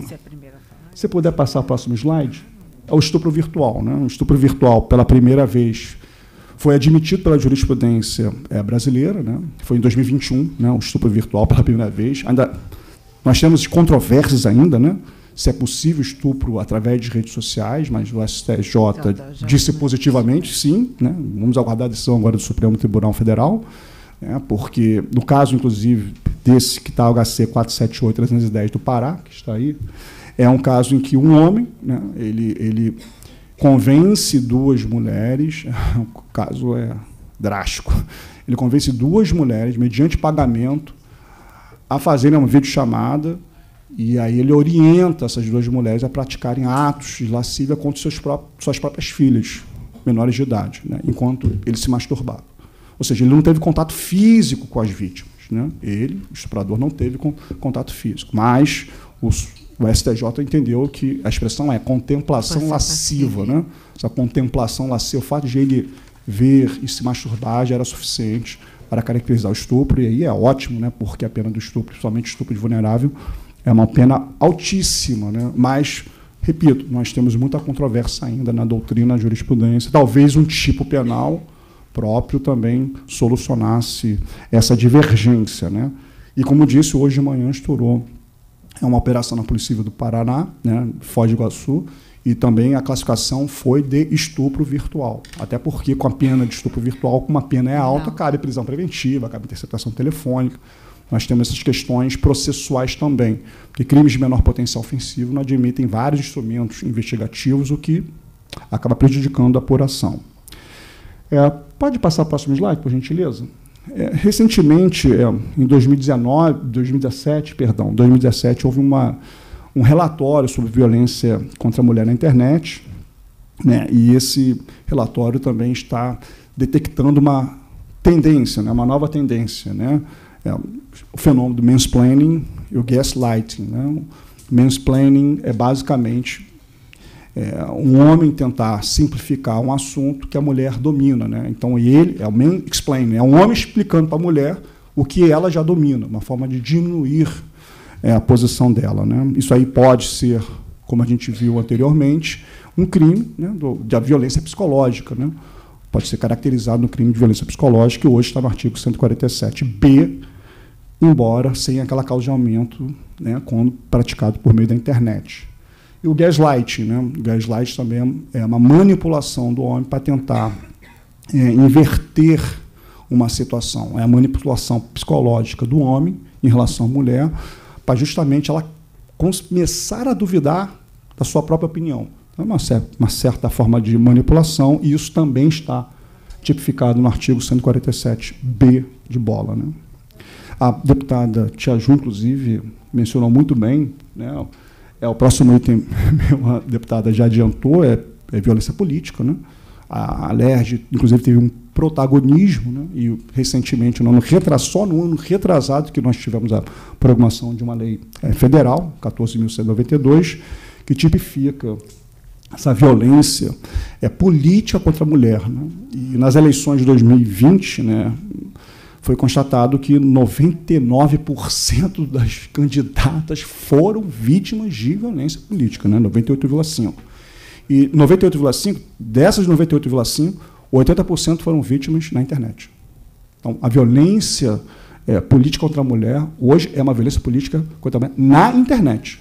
Né? Se 98% das candidatas foram vítimas, do universo dela, 80% foram atacadas na internet e não no mundo virtual. E nós precisamos é, tomar uma providência, talvez até é, no nível de criminalizar essa conduta. Bom, bom, se puder passar o próximo item, é a postura das autoridades policiais e judiciais. Talvez, acho que eu finalizei a questão mais teórica, talvez a mais chata, e agora vamos para questões mais práticas. Né? É a postura das autoridades policiais e judiciais. É, o, talvez o grande problema da mulher ir à delegacia, procurar o sistema criminal como todo, né, o Ministério Público, o Judiciário, é, talvez seja o comportamento das nossas autoridades, que minimizam esse problema. Né? Minimizam, e aí vou usar uma expressão é, dos jovens. Né? Ah, isso é mimimi. Isso é mimimi. Minimizam porque isso é mimimi. É, a violência, isso aí não é violência. É, isso não acontece no mundo real, foi no mundo virtual, qual o problema? Né? E acabam tentando é, desviar é, esse foco. Né? Como eu disse, talvez as autoridades públicas não estejam preparadas, eu também não estava preparado até três anos atrás, entender que não existe essa separação do mundo virtual do mundo real. Né? Se esse policial, promotor, juiz tivesse interrompido esse, esse primeiro ato virtual, né, dois, três anos depois, a gente não teria uma tragédia no mundo real. Né? Porque a doutora Marta Rocha sabe muito bem, né? Chefe da Polícia Civil, delegado de polícia, sabe que o criminoso normalmente ele faz aquela progressão criminosa. O sujeito ele não começa matando a mulher, né? Ele começa xingando na internet, ameaçando, bate. Não está acontecendo muito, um dia ele vai matar essa mulher. Então, é, é, talvez a gente tenha que conscientizar melhor, qualificar melhor os nossos policiais, nossos promotores e juízes para não minimizarem é, esse crime virtual, que na verdade não existe essa separação, como eu expliquei um pouco antes. Né? Aliás, as próprias mulheres têm essa pesquisa norte-americana, elas não reconhecem terem sido vítimas de crime. Sim. E aí foi que a professora e a doutora Carla disse, né? talvez fazer uma campanha de educação. Olha, isso é crime. E quais são os seus direitos? Quais são suas redes de apoio? Né? Eu faço essa conclusão, eu vou até explicar melhor, só estou adiantando. Mas o problema é, tem duas vertentes. Né? A postura é, do, da autoridade pública e até a postura da vítima, que talvez não se identifique como vítima de um crime. Né? Ah, isso aí não é crime, não sabia que era crime, e não procura a polícia. Você pode passar, por favor, para o slide? Então, como procurar ajuda? Né? Vamos chegar à parte prática. Óbvio, a primeira coisa que se faz é fazer o registro de ocorrência, né? procurar a polícia, o Ministério Público, nós temos um canal específico, a professora e a doutora Cláudia, Cláudia ah, Carla explicou, né, 180. E talvez chegamos aqui ao ponto mais importante para mim, que é a entrega de provas à polícia. Quer dizer, não basta você fazer o registro de ocorrência, né? você tem que fazer entrega de provas. Né? Todas as provas é, que vocês é, tiverem, né? vocês mulheres tiverem. Né? E a gente chega num ponto bem polêmico, print. Ah, print serve de prova? Tem gente que diz que não serve, tem, tem gente que diz que serve, mas com valor muito baixo de credibilidade. É, eu vou explicar por quê. Quem é jovem deve saber. Né? Hoje em dia nós temos aplicativos que simulam conversas de WhatsApp. Né? É, é, manipula. Né? Inclusive, eu consigo, não preciso nem desse aplicativo, basta entrar no meu computador e mudar o horário a data né, do meu computador e printo. Quer dizer, e se eu mudo a data horário, eu já consigo descontextualizar tudo. Né? Quer dizer, print é uma coisa bem manipulável, né? e por isso que tem juiz que diz: eu não aceito print. Então, se você for na delegacia com print, o policial junta nos autos, promotor denuncia, pior, aí chega lá o juiz, ah, não, prova ilícita, porque pode ser prova manipulada, pode ser uma prova que foi coletada sem os cuidados tecnológicos, não aceito, o réu está absolvido. Então, é a parte de processo penal, agora é a parte de processo penal, provas, que eu gosto. Então, e vai ter juiz que fala, eu até admito, mas o réu está negando que foi ele. Né? E eu admito essa prova, mas essa prova não é suficiente para condenar. Em dúvida pro réu, absolvo. Então, talvez o que a gente tenha que é, explicar, não para as mulheres, né, mas para os nossos profissionais, e inclusive houve um perito aqui, né, que depois, inclusive a pergunta da senhora é muito pertinente, é como quisitar, inclusive, essas provas, é, talvez explicar e qualificar os nossos policiais no primeiro aspecto, né, é, ata notarial. É, tem fé pública. Então, essa mulher, o ideal ela não é remover, excluir o conteúdo, mas ela levar o dispositivo eletrônico é, no tabelião e ele tem fé pública e vai falar, olha, realmente no dia tal e vai descrever o conteúdo. Então, aquilo é uma prova admissível para a jurisprudência é, brasileira. É, um segundo, um, uma segunda opção alternativa, e eu tenho batido muito no Rio de Janeiro, a gente ainda, infelizmente, não chegamos ao nível do Ministério Público baiano, mineiro e paulista, os três é, ministérios públicos que foram pioneiros, é contratar a plataforma Verifact. Não, não, sei se a senhora já ouviu falar da plataforma é, Verifact, mas é uma ferramenta online, muito fácil de ser usado, que vai coletar toda a prova digital, mas de uma forma auditável. Então, plataforma, existem outras plataformas também, mas a mais conhecida é a Verifact. Eu digo que eu não recebo dinheiro da Verifact, não sou funcionário da Verifact. Tá? Mas a plataforma Verifact, basicamente, é, um, é uma ferramenta online paga. Né? Você abre, na verdade, uma aba né? e você, dali, você consegue arrastar todas as conversas para essa aba e ela vai falar, olha, é, tem todos os cuidados, né? veio de que número, que data, e a data que eles usam não é a data do computador, não. Né? Existe, é, eles chamam de International timestamp. Existe um carimbo de horário internacional. Gera um, um código hash, que é um basicamente chama criptografia, que diz, ó, esse dado é original e não foi manipulado. Existe todo um cuidado tecnológico. E essa prova ela vai ser admitida em juízo. É, de novo, as mulheres não devem saber disso. Né? Elas não são obrigadas, a gente não tem que informar essas mulheres, nós temos que informar isso aos nossos policiais, né? aos nossos promotores, porque essas provas vão ser contestadas pelos homens, né? e os juízes e as juízes vão absolver esses réus. Né? Outro aspecto também é como procurar ajuda. É, na, na, sequência disso, né, dessa coleta cuidadosa da prova digital, sob pena de a gente é, inviabilizar, tornar essa prova ilícita, é remoção do conteúdo. Né? Hoje, é, o artigo 21 está ali, né, do Marco Civil da Internet, que é a Lei 12.965 de 2014, admite né, a remoção imediata é, de um conteúdo. Né, estamos falando majoritariamente em conteúdo pornográfico, é, sexual, independentemente de ordem judicial. Tá, independentemente de ordem judicial. É, todas essas plataformas da Meta, né, Facebook, Instagram, enfim, tem um canal online para isso. Né?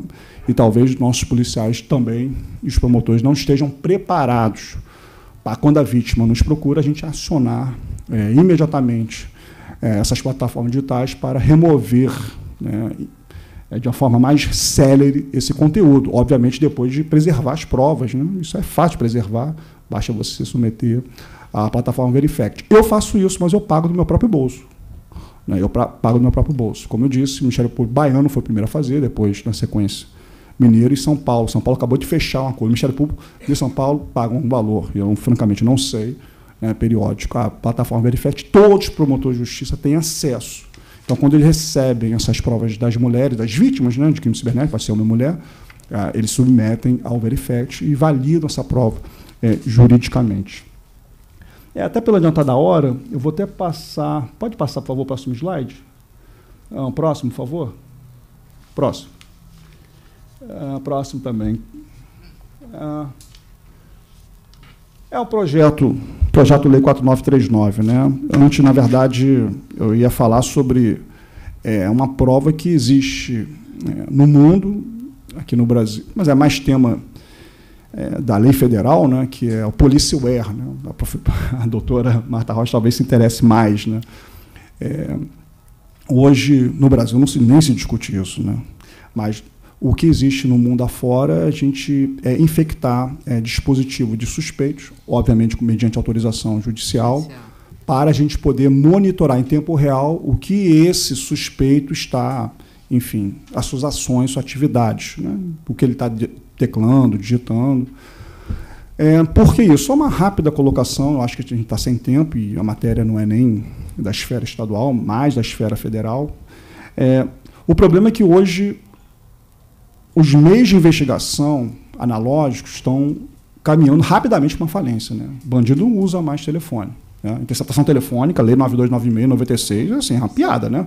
Ninguém usa mais telefone. Né? O WhatsApp é criptografia ponta a ponta. Né? E bandido inteligente não está usando nem mais WhatsApp. Está né? usando Telegram e Signal. Né? E agora já está usando Telegram e Signal, porque o WhatsApp, depois de anos resistindo, hoje está cooperando, entre aspas, com o Poder Judiciário brasileiro.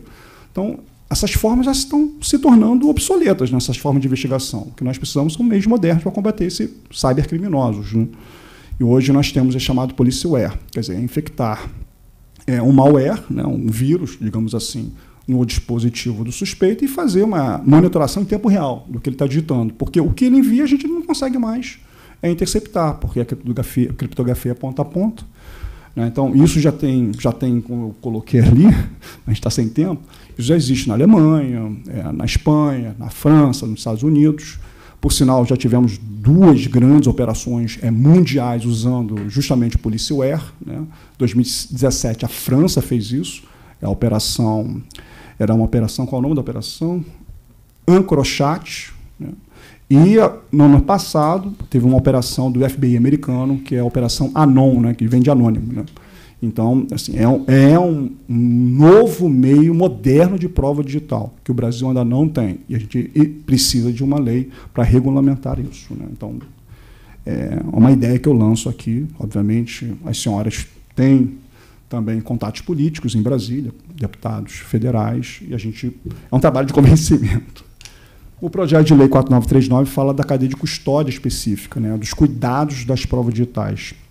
E a gente precisa ter muito cuidado em dois aspectos, né? autenticidade e integridade da prova né, digital. Autenticidade, autenticidade tem a ver com a origem da prova digital. Né? Como eu disse, essa prova ela não pode, ela não é só manipulada no conteúdo, ela pode ser manipulada da origem.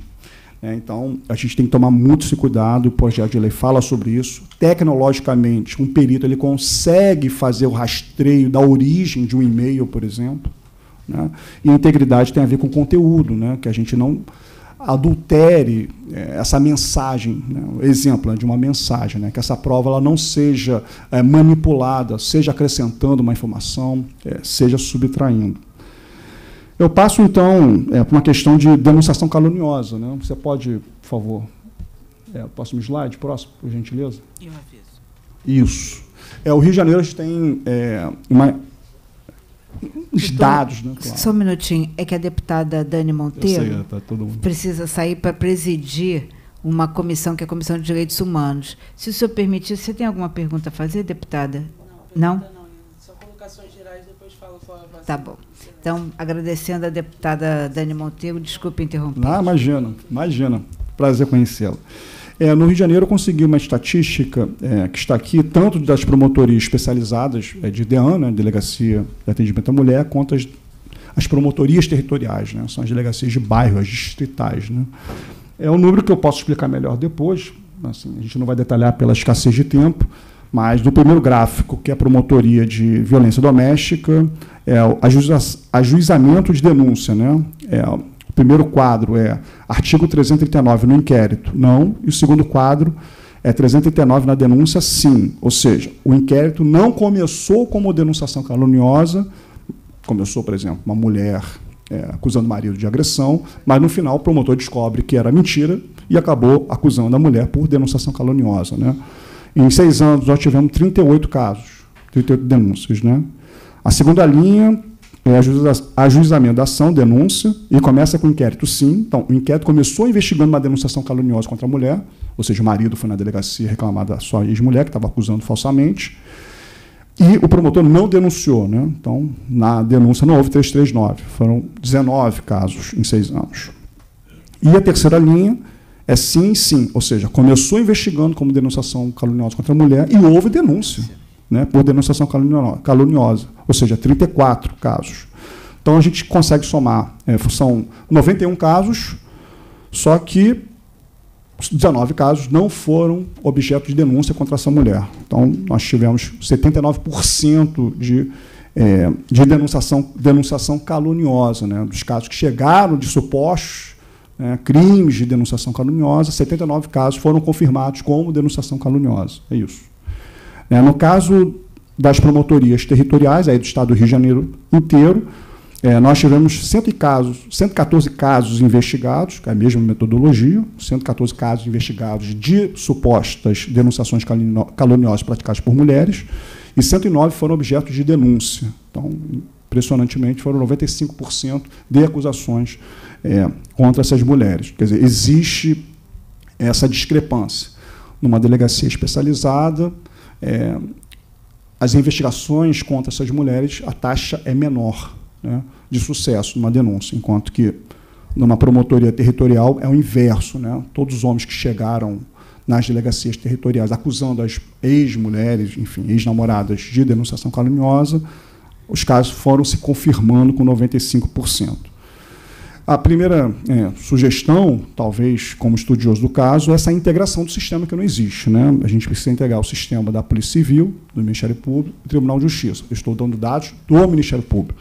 Não sei quantos registros de ocorrência existem na polícia e, pior, é, todos esses casos de denúncias, né, e eu trouxe é, basicamente 200 casos de denúncias de denunciação caluniosa, eu não sei quantas denúncias os pedidos foram julgados procedentes com condenação. Né? Então, a gente poderia ter essa integração desses três sistemas, porque também é uma vertente que tem que se, tem que se avaliar, porque essas falsas acusações acabam até é, deslegitimando né, as, as, acusações verdadeiras, sérias né, e fundadas. Então, eu chego, próximo item, por favor, é, nas minhas conclusões. Né? E as conclusões são todas baseadas com os ditames, com os princípios da Convenção de Istambul, né, que é o principal tratado internacional sobre os direitos é, das mulheres, né? combate aos crimes contra as mulheres. Né? É, o primeiro, talvez a primeira conclusão seja a inclusão de uma estatística específica de violência cibernética contra mulheres e meninas. A gente não tem é, essa estatística é, no sistema do SO, né, da Polícia Civil do Rio de Janeiro, nem do Ministério Público. É, talvez a segunda sugestão seja a criação de um órgão estadual para dois objetivos. Primeiro, é, desenvolver, desenvolver indicadores, né, essa estatística, esses dados, essas informações. Não tem esse órgão estadual de coordenação, né, a gente precisa desse diálogo, e talvez um órgão estadual possa fazer essa interlocução. E não só é, coletar esses indicadores, mas também desenvolver é, políticas, né, políticas específicas para a gente aprimorar e juntar essas duas pontes, tanto as autoridades públicas quanto as vítimas, né? Poderem se aproximar e trabalhar num combate mais eficiente é, contra esse tipo de crime de violência cibernética é, contra as mulheres. A terceira sugestão talvez seja bem importante, e a deputada Marta Rocha vai me compreender, é a qualificação dos nossos policiais civis. Né? Nossos policiais civis passam pelo mesmo problema que eu, talvez muitos passam. É, não são da geração nato digital. Então, quando a mulher chega, eles minimizam o problema. Ah, isso aí é crime virtual, isso aí não acontece no dia a dia, deixa para lá. Né? Ou aceita aquele print sem o cuidado da cadeia de custódia específica. Né? Então, a qualificação dos nossos policiais. É, e padronização é, do procedimento, né? É, o protocolo de atendimento dessas mulheres, que é um, é um protocolo muito específico. Né? É, será que esse policial sabe que existe essa ferramenta Verifact? Será que esse policial ele sabe que esse print que ele recebeu, o ideal era pedir para essa mulher ir a um tabelião e, buscar uma ata notarial para que essa prova digital seja considerada válida pelo Poder Judiciário. Né? Outro aspecto fundamental está ali também. É, hoje nós temos um instrumento do Marco Civil da Internet, que é de 2014, que pouca gente usa. Aliás, eu só usei duas vezes na minha vida também. Obrigado. Que é Legal Hold, né, ou guarda de dados. Quer dizer, é, o Marco Civil da Internet, está ali, né, o artigo 13, permite que a autoridade policial ou o Ministério Público, independentemente de mandado judicial, independente de mandado judicial, possa congelar aqueles dados. Claro que a gente não vai acessar os dados, mas a gente consegue congelar os dados para depois o juiz autorize o acesso a esses dados. Por quê? É porque hoje as empresas de tecnologia só têm é, um ano, obrigatoriedade de guardar esses dados durante um ano.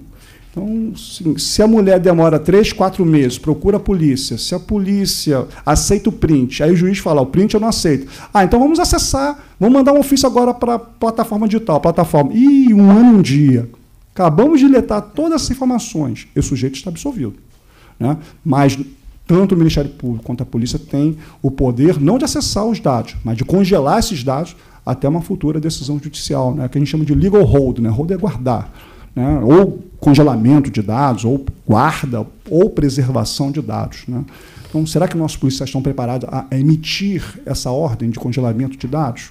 Então, sim, são, são medidas simples, não são tão complicadas, mas que a gente precisa só pensar, montar um roteiro, né, um protocolo, e poder capacitar nossos policiais. Pelo menos os policiais das DEANs. Né? E aí um, um, policial de uma distrital, quando recebe um caso desse, que não deve ser muito comum para ele, pode entrar em contato com o policial da DEAN e falar, pô, tem como me ajudar? E ele vai falar, olha, tem um roteiro aqui, e passar para ele fazer esse atendimento. Né? Agora, é claro que para a criação desses protocolos, é, desses roteiros, a gente precisa ter esses indicadores, né, esses dados. Quais são os crimes cibernéticos mais comuns contra as mulheres? Porque, vou dar um exemplo, o protocolo para a gente tratar uma plataforma digital quando é uma rede social vai ser diferente de uma foto encaminhada por e-mail. Então, a gente precisa identificar quais são os crimes mais comuns cibernéticos praticados contra as mulheres, porque tem essa especificidade. Né? Para cada. Não é nem cada tipo de crime, mas cada forma, cada modus operandi diferente, existe um protocolo é, distinto. Então, é uma sugestão né, de coletar esses dados, identificar quais são os crimes mais comuns no Rio de Janeiro crimes cibernéticos contra as mulheres, para então formar uma comissão de técnicos né, e poder é, estabelecer um protocolo, inclusive com as quesitações, né? inclusive com as quesitações, a perícia, que deve ser uma dificuldade enorme, né? Que perito, a gente faz muito mal as perguntas aos peritos, os peritos não sabem responder. Né? Vocês já tiveram a oportunidade, inclusive, de falar com um dos peritos daqui, né? Acho que é o Liu, né? Liu Tsu, enfim. É, outra sugestão, por favor, se puder passar. Ah, vocês já até sugeriram, doutora Carla também, é o lançamento de campanhas, né? Óbvio, isso é fundamental, né? Campanha é, na escola, em todos os lugares possíveis, mas principalmente nas escolas, né? É, que são as, são as mulheres mais vulneráveis, as jovens, né? Crianças jovens é, vulneráveis. Primeiro, para saber que violência cibernética é crime. Muita gente não sabe, até trouxe aquela estatística: 54% das mulheres não se enxergam como vítimas de crimes. Então, vamos explicar para elas que elas são, sim, vítimas de um crime cibernético. Informar os direitos, né, um serviço de apoio e, e as consequências né, é, dessa, de uma denúncia frágil, né, assim, até para elas terem noção do que pode vir a acontecer. É, e, finalmente, talvez seja o último ponto a se refletir, e a gente já falou rapidamente sobre isso, é a cooperação dos provedores de serviço. Né? A gente, hoje em dia, as provas estão com empresas privadas, né? estão no, em poder dessas empresas privadas, e elas têm que ser chamadas para atuar em cooperação. Né? Inclusive, ajudar em campanhas de prevenção, até campanhas em prevenção, e acelerar essa forma de se remover o conteúdo nocivo da internet, talvez com mais é, eficácia. Então, essas foram minhas breves palavras. Me desculpem pela rapidez, porque eu sei que todo mundo tem um tempo escasso, mas, novamente, é, gostaria muito de parabenizar a comissão de poder fomentar essa discussão tão importante. Eu fiz algumas anotações aqui, mas eu sei que provavelmente haverá perguntas e a gente pode inserir essas observações durante as perguntas e respostas. Bom, primeiro eu quero muito agradecer, né? Agradecer à deputada Indy Armelau pela sugestão do seu nome, que foi muito bom, doutor Salway. e eu tenho, assim, objetivamente, algumas perguntas. Né? Primeiro, lhe pedir que disponibilize esses slides para ficar nos anais aqui da CPI. E é, lhe pedir se o senhor poderia nos mandar por escrito, aproveitando aí o conteúdo jurídico, já que a relatoria não é uma relatoria jurídica necessariamente, mas senhor fez pelo menos três ou quatro observações de crimes que merecem um aumento da pena. Né? Embora essa casa não tenha é, a atribuição, mas a tia Ju vai concordar, nós temos uma interlocução hoje, é até muito própria por parte da tia Ju, com a Procuradoria da Mulher, que é um organismo dentro da Câmara dos Deputados que tem esse olhar não só né, de atuar no enfrentamento da violência, mas, sobretudo, né, de criar espaços para a atualização da legislação penal. Então, o nosso, a minha sugestão, já passando aqui, a partir da sua, se fizer essa gentileza de nos mandar isso por escrito, é a gente pedir a intervenção da Procuradoria da Mulher junto às comissões temáticas daquela casa, e não obstante a nossa atuação partidária, né? mas considerando que o tema é suprapartidário, a gente encaminharia essas sugestões, que eu acho todas pertinentes, né? é, que a gente encaminharia para a Procuradoria da Mulher, para que a Procuradoria da Mulher, é, em território de Câmara dos Deputados, buscasse né, a atualização dessa legislação penal. Então, essa é a primeira questão. A segunda questão é pedir ao senhor que, olhando para esse, eu até fui consultar aqui o PL 4939 e a última a manifestação da Casa Deputado de Lei Falcão, é. né, foi em março de 2023. A deputada Tia Ju falou aqui do tema da violência política. Se levou três anos. Então, a gente entende que em 2020, a gente em 2023, e concretamente, ainda não há, por exemplo, né, algumas manifestações. Então, pedir ao senhor que, olhando, já que o senhor é um dos autores intelectuais da lei, é, olhando para o projeto de lei, se há algum espelhamento em sede de lei estadual que a gente já pudesse fazer, que poderia ser também né, já uma contribuição específica dessa CPI, já apresentar junto com o relatório um projeto de lei que fizesse um espelhamento, observada aí a competência da Câmara e a competência da da, da, da Casa Legislativa Estadual, se a gente pudesse fazer esse tipo de, de espelhamento. E, por último, eu achei bem interessante a sua estatística que o senhor apresenta da denunciação caluniosa. Mas me parece que, quando eu tenho um dado aqui trazido por, pelo senhor, de que uma em cada dez mulheres já sofreu violência cibernética, e aí a gente tem dois movimentos. O primeiro, aquela mulher que sofreu e não se viu, como o senhor colocou, como uma vítima de um ato de violência. E um segundo momento que isso foi concretizado num procedimento policial, ou numa denúncia, ou num, numa sentença. E aí eu queria lhe perguntar se houve na apresentação dessa estatística, que eu não consegui ver daqui, é, se há um espelhamento entre o número de fatos, né? Porque a gente diz assim, 95% dos casos de denunciação caluniosa resultaram numa denúncia, se eu não entendi errado. Sim, sim. Tá? Mas como é que a gente compara isso? Porque a minha preocupação, o medo que eu tenho com essa frase, é alguém achar que 95% dos casos de violência doméstica não, na verdade, não, são de denunciação isso, caluniosa. Né? Ou, eu sei que não foi, doutor, eu sei que não foi. Mas entre o que a gente fala, eu aprendi isso na política. Não, com certeza. entre o que a gente fala e o que as pessoas entendem, lamentavelmente, tem sempre um ato de distorção. Então, se a gente pudesse ter esse espelhamento, eu acho interessante quando o senhor coloca né, da necessidade dos dados concretos. A ausência dos dados concretos né, é, faz isso. E se a gente é, poderia também contar é, com seu olhar do Ministério Público, eu acho interessante, porque uma coisa é o que a gente recebe na delegacia, outra coisa é o que a gente produz como prova. Então, se a gente tem a cadeia de custódia da prova garantida, né, o que, que seria. Então, achei super interessante esse protocolo de atendimento à mulher vítima de violência cibernética. E o senhor coloca com muita, muita clareza que, pelo menos, os, de, os deputados, não, os policiais das DEANs. Mas eu tenho uma. Eu, como chefe da Polícia Civil, eu tinha um desejo que eu repetia quase como um mantra, que em cada lugar que a mulher chegue, ela seja bem atendida. E, não obstante, estar numa delegacia de mulheres ou não. Claro que dos policiais da delegacia de mulheres a gente tem que exigir com mais veemência isso. E por que, que eu estou fazendo essa, essa ponderação? Porque nós estamos agora com 700 alunos na escola da Polícia Civil, na Academia da Polícia Civil dos novos. É, novos policiais aprovados. Né? Esse foi também uma preocupação tanto do delegado doutor Pablo Sartori, da DRCI, quanto da delegada Bárbara Lomba, que a gente aproveitasse esse momento né, é, para que a gente tivesse, é, já nesse momento, uma qualificação dos nossos policiais. Mas, de qualquer jeito, é, pensando nessa contribuição, o que, que o Ministério Público entende daquele beabá mesmo? Né?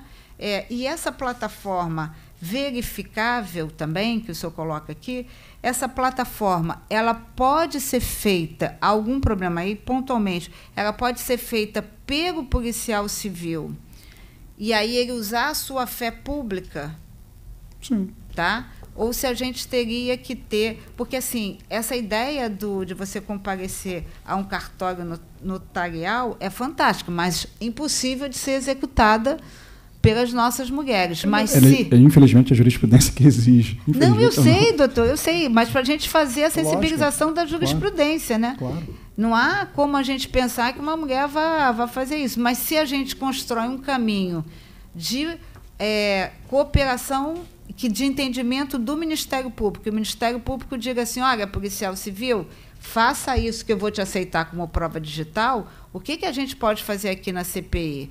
Articular com a Polícia Civil para que esse equipamento, que por certo não existe, esteja em sede em sede policial. Esse equipamento não, né? Essa ferramenta, ferramenta melhor dizer. É, é ferramenta. É, é. Então vou passar para a deputada Tia Ju dizendo que foi muitíssimo bom de ouvir, tá?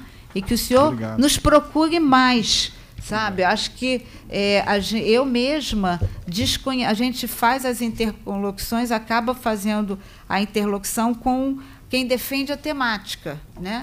E quando a gente lhe ouve, é muito bom ouvir a sua sensibilidade, é muito bom ouvir o seu cuidado, né? E com certeza vou estar aqui acionando o meu partido, não vou uhum. fazer aqui é, uma colocação partidária, né?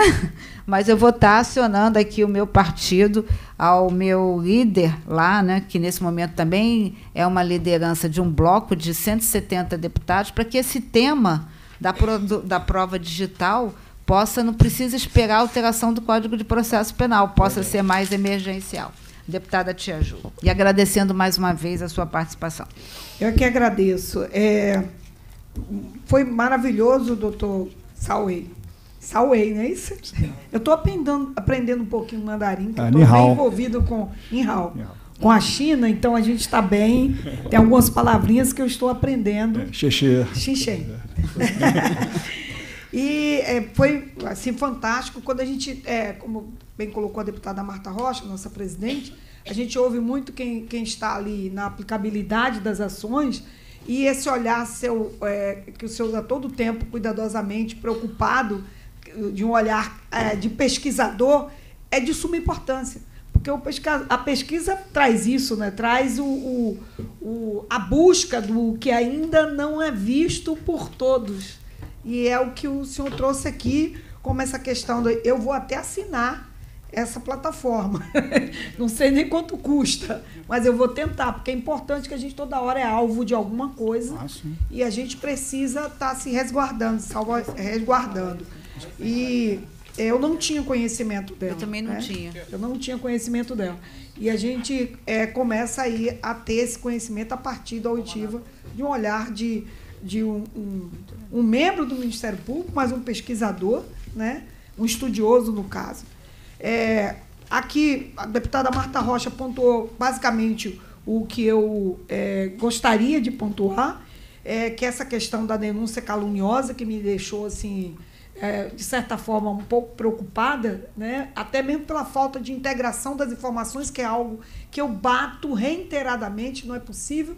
Em pleno século XXI, o Brasil ainda está tão desconectado como está. Eu, recentemente, deputado Marta Rocha, fui convidada, eu fui convidada a fazer uma palestra sobre é, é, cidades inteligentes, e aí eu fui até questionada em um dado momento, o que, é que ela está fazendo aqui para falar de cidade inteligente se não é muito, não é a vibe dela. Né? E ali na minha palestra eu mostrei o quanto é a minha vibe no olhar social. Né? A cidade inteligente precisa ser pensada a partir do indivíduo. Se não pensar a partir do indivíduo, ela não será inteligente, ela já começa boa. Né? Então, é, e acabei sendo convidada, acabei sendo convidada para visitar a cidade mais inteligente, do, o país mais inteligente do mundo, que é totalmente inteligente para o indivíduo e, e o, o CEO que estava ali presente, ele nunca tinha ouvido falar de cidade inteligente a partir do indivíduo. E olha que foi eles que tinham criado né, toda. Porque o, o, o país é um país de primeiro mundo. E o que eu trouxe para eles foi o olhar do, da nossa realidade. Né? Então, assim, é, e como pedagoga, a gente sempre tem um questionamento. Quando se, a gente ouve alguma coisa que fica um tom de dúvida, para mim, que tem um. É, é, um, um, não sendo melhor do que ninguém, mas nós que temos um estudo, uma qualificação, um nível superior, se deixou um pouco de questionamento, imagine aquele que está lá embaixo, né? que não teve acesso a tanto, tanto é, não teve acesso à educação, nem à educação básica. Né? E aí, realmente, essas denúncias caluniosas, a gente tem que precisar ter um, um certo cuidado, bem colocado aqui, pela deputada Marta Rocha. Acho que é pela falta de integração das informações. Os dados são do Ministério Público, mas a gente precisa olhar lá como que a Polícia Civil recebeu né, essas denúncias, enfim. Se não integrar, fica fio solto e deixa muitas dúvidas. Mas uma questão que o senhor colocou aqui, eu não quero me alongar, é sobre a questão do, de que hoje a gente não tem é, punição para esses crimes eu anotei tanta coisa aqui que eu acabei, que ele foi trazendo tantos dados importantes, é, que o, o, os crimes digitais ainda, não, na verdade, não, não é crime no nosso país. E aí a gente, logo me veio a, a, o questionamento, acabamos de aprovar a Lei de Proteção de Dados, a LGPD, né, que vem ali tipificando algumas questõezinhas de, de, de punição de um ano, de mas não, não há uma compilação aí realmente dessas tipificações, que é algo que a gente pode também pontuar a partir da nossa CPI e acionar né, as nossas bancadas e, e, e a Câmara Federal aí através de um mecanismo para que a gente possa pensar uma lei jovem que acaba de nascer, mas que é, com essa de, é, é já com um pouco de deficiência, né? Uma grande deficiência. E aqui agradecer mais uma vez e dizer que a gente vai realmente acionar muito, né, deputada Marta Rocha, que a contribuição foi muito boa. E as sugestões aqui, o que foi dito do, do Estatuto da Mulher Parlamentar, que a gente levou três anos, a deputada Marta Rocha acompanhou comigo as, as audiências públicas e tudo que nós fizemos para levar o entendimento. E aí a gente recebe um dado que o senhor trouxe de 98% das mulheres que concorreram à eleição foram vítimas de crimes cibernéticos durante o período da eleição. Né? Então, quanto tempo a gente vai levar mais três anos para fazer a, a, é, esses crimes se tornarem de fato crimes ou a gente precisa realmente é, agir rápido para que a gente possa ter mais celeridade é, nessa pauta? Era isso que eu, que eu queria colocar e trazer aqui para a deputada Marta Rocha, que depois a gente vai conversar sobre o Estatuto da Mulher Parlamentar, para que a gente possa trazer aqui para a nossa CPI, no âmbito da nossa CPI, de ser uma proposta da CPI como um sim, todo. Tá? Sim, Aí a gente colocar isso para Vossa Excelência. Muito obrigada. Deputada Dani voltou, que bom. Deputada Índia Armelau, nossa relatora. Bom dia. Fico feliz que a Dani voltou, porque eu queria também usar como exemplo o seu nome, queria que você estivesse presente. Aqui nós temos quatro mulheres de partidos diferentes, com ideologias diferentes, mas nenhuma Nunca se faltou com respeito, xingou, ofendeu. Lá embaixo mesmo, Dani defendeu ontem uma posição dela, escutei, depois estávamos conversando sobre e não houve nada. Então, para não ser leviana, eu vou ler um texto porque eu não quero deixar nada de fora. Eu quero que todos que estejam aqui prestem atenção e quem esteja assistindo. Gostaria de iniciar minha fala registrando que na sexta-feira, dia 4 de agosto, fui vítima mais uma vez de um ataque por parte de mulheres. Desta vez, a agressora foi a jornalista Isabela Benito. Durante o programa Tá Feio, Tá Bonito da Rádio Tupi, que, tirando de contexto a minha fala, proferiu inúmeras ofensas, acusações e calúnia. O vídeo tem um pouco mais de oito minutos, então vou destacar algumas partes que nenhuma, nenhuma mulher merece o que foi dito, principalmente por ser política e estar aqui defendendo o que você acredita. Temos mulheres canalhas no meio do caminho que fazem papel pior que machistas homens. São sexistas, são misóginas. Eu sei que no literal da palavra não cabe porque é uma mulher, mas é uma mulher que, assim como uma mãe que não protegeu seu filho, ela cometeu duas vezes o crime, sendo machista por ser mulher, e no caso desta senhora, que eu vou citar aqui, é pior ainda. Por ela representar uma classe de mulheres sempre ofendidas e de uma população inteira que sempre lutou e foi usurpada. Ela é do tipo de gente como foi presa semana, nazista que nazista que são mulatos e que seriam os principais alvos de Hitler. Ou seja, não tem consciência de quem é a si própria. Não pode representar mulheres nenhuma. Eu não vou dar palco para essa imbecil. Eu não vou ter sonoridade com essa mulher, mas eu vou falar o de serviço que ela fez. Ela fala rapidamente sobre a, a, violência contra as mulheres, né, que a CPI foi instalada. Aí fala assim: e foi aberta essa CPI, é, tarará. Ontem teve audiência, foi ouvida uma pessoa incrível que eu admiro muito, a delegada Bárbara Lomba. O que me deixa uma dúvida. Aqui eu já debati com várias pessoas, eu nunca fui exposta desse jeito. O dia que eu debati com uma delegada que veio aqui, eu fui exposta desse jeito. Tá? Continua, continuando que a fala fica pior. Mas é que eis que no meio desse depoimento simplesmente tem uma mulher que para mim não merece nenhum nome aqui, porque ela quer palco, que eu não vou dar. Mas adivinha de qual é partido? Do PL, que faz um desserviço a nós mulheres, que quer cada vez mais colocar homens escrotos, desculpem pela palavra, no poder, porque tem medo de mulher. Sim, os machões têm medo de mulher. Não vou generalizar, mas sempre é, mas sempre é um partido que é contra qualquer causa das mulheres. Então, ao meu partido, presidente Valdemar, aqui está. Acredito que o senhor vai fazer alguma coisa. E você ser contra qualquer causa em relação a qualquer coisa faz parte da democracia. Logo, estou defendendo o que eu quero, o que eu acho que é correto. Aqui foi uma disputa de opiniões, não uma disputa de dados. E eu não pude dar a minha opinião. Mas contra a violência em relação à mulher, você é covarde, você é violento e você é criminoso. E no caso, eu estou falando de uma mulher, ela é uma índia, né? Então vocês já devem estar sabendo de quem eu estou falando. E saiu do comentário de uma índia deputada que não sabe quem é ela mesma. Porque esses homens do qual e tudo isso que ela está defendendo simplesmente eliminaria. Só a usam como oportunismo. E ela não enxerga isso porque ela não quer. E eu estou pouco me lixando porque ela é uma adulta. Ela abre aspas e diz o seguinte, no meio de uma audiência para defender mulher. Ela pegou, tirou minha frase de contexto, falou o que ela queria, e ela vem, cara na boa, eu não sei nem o que eu falo para uma índia dessa, sendo que é lá na tribo, se ela chegar lá e se, se ela for corajosa, vai lá na tribo que as mulheres andam com os peitos para fora para alimentar suas crias e viver dentro de suas tribos. Em uma cultura que pode se falar algumas coisas em relação porque tem o seu machismo, também, e eu sou corajosa por falar, mas simplesmente ela é um desserviço total. Ela continua falando e diz o seguinte: e o que, o que essa mulher está fazendo sentada numa cadeira, sendo mulher, sendo índia, e fazendo um comentário como esse, numa audiência como esse para mim? Como mulher, ela deveria ser presa. E com uma investigação de quebra de decoro, porque não representa o povo, muito menos as mulheres. E finaliza com o seguinte: por isso, se você me perguntou se está feio ou se está bonito, eu te, se eu te incomodo, procura um psicólogo e tenho dito. Então, vamos lá, a conclusão. Como eu havia dito, a maioria dos ataques que sofro pelas redes sociais são de mulheres e aqui está mais um. Foi uma, uma formadora de opinião. Jamais, jamais ela poderia fazer isso com uma mulher que está dando a opinião dela. Eu tenho uma criação diferente, eu tenho uma vivência diferente, logo a gente vai discordar, mas no ponto a gente vai sempre defender as mulheres. Então isso é um, não sei se pode se falar que é um crime aqui, mas o que ela foi, desculpa, mas vamos lá.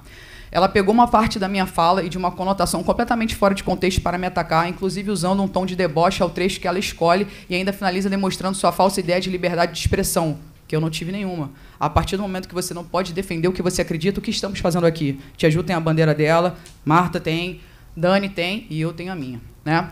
E aí, na minha fala, eu sempre alertei aqui para a necessidade de promover educação digital, expandir as informações de como se proteger de crime, como falou a doutora Carla aqui, que é a prevenção, e alertar sobre os perigos e possíveis consequências de exposição excessiva sexualizada, inclusive de crianças e adolescentes. E a, e a fala do jornalista, além de ofender a minha honra, recortar a minha fala e tirar de contexto, é uma coisa muito baixa. É inegável que existem inúmeros crimes praticados por homens, contra as mulheres, mas não podemos fechar os olhos para o fato que esses crimes também são praticados contra homens e por mulheres contra mulheres. Então, a minha pergunta é a seguinte, é, deputada Marta, como presidente, te ajudo como vice, eu gostaria de saber o que, que essa CPI pode fazer em relação disso. Porque estamos aqui para combater a violência contra uma mulher. E por defender o que eu acredito, eu fui atacada é, eu quero até perguntar ao doutor Sobley, porque eu não tenho as imagens, né? A gente tem só o áudio, eu não sei com essa inteligência artificial como é que fica, porque não sei se serve ou não. Infelizmente, hoje, como ele falou, o print ele pode ser manipulável, eu não sei até onde o áudio pode ser, porque esse áudio dessa rádio foi para todos os grupos. Logo, recebi mensagem de ódio e ameaça. Porque as pessoas pegaram a minha fala recortada, eu tive que postar o meu vídeo inteiro, as pessoas, ah, não, você falou das consequências, mas logo você. Eu falei, exatamente. Então eu queria saber como CPI, o que, que nós vamos fazer em relação a isso, porque a Dani não merece ser atacada pelo que ela defende.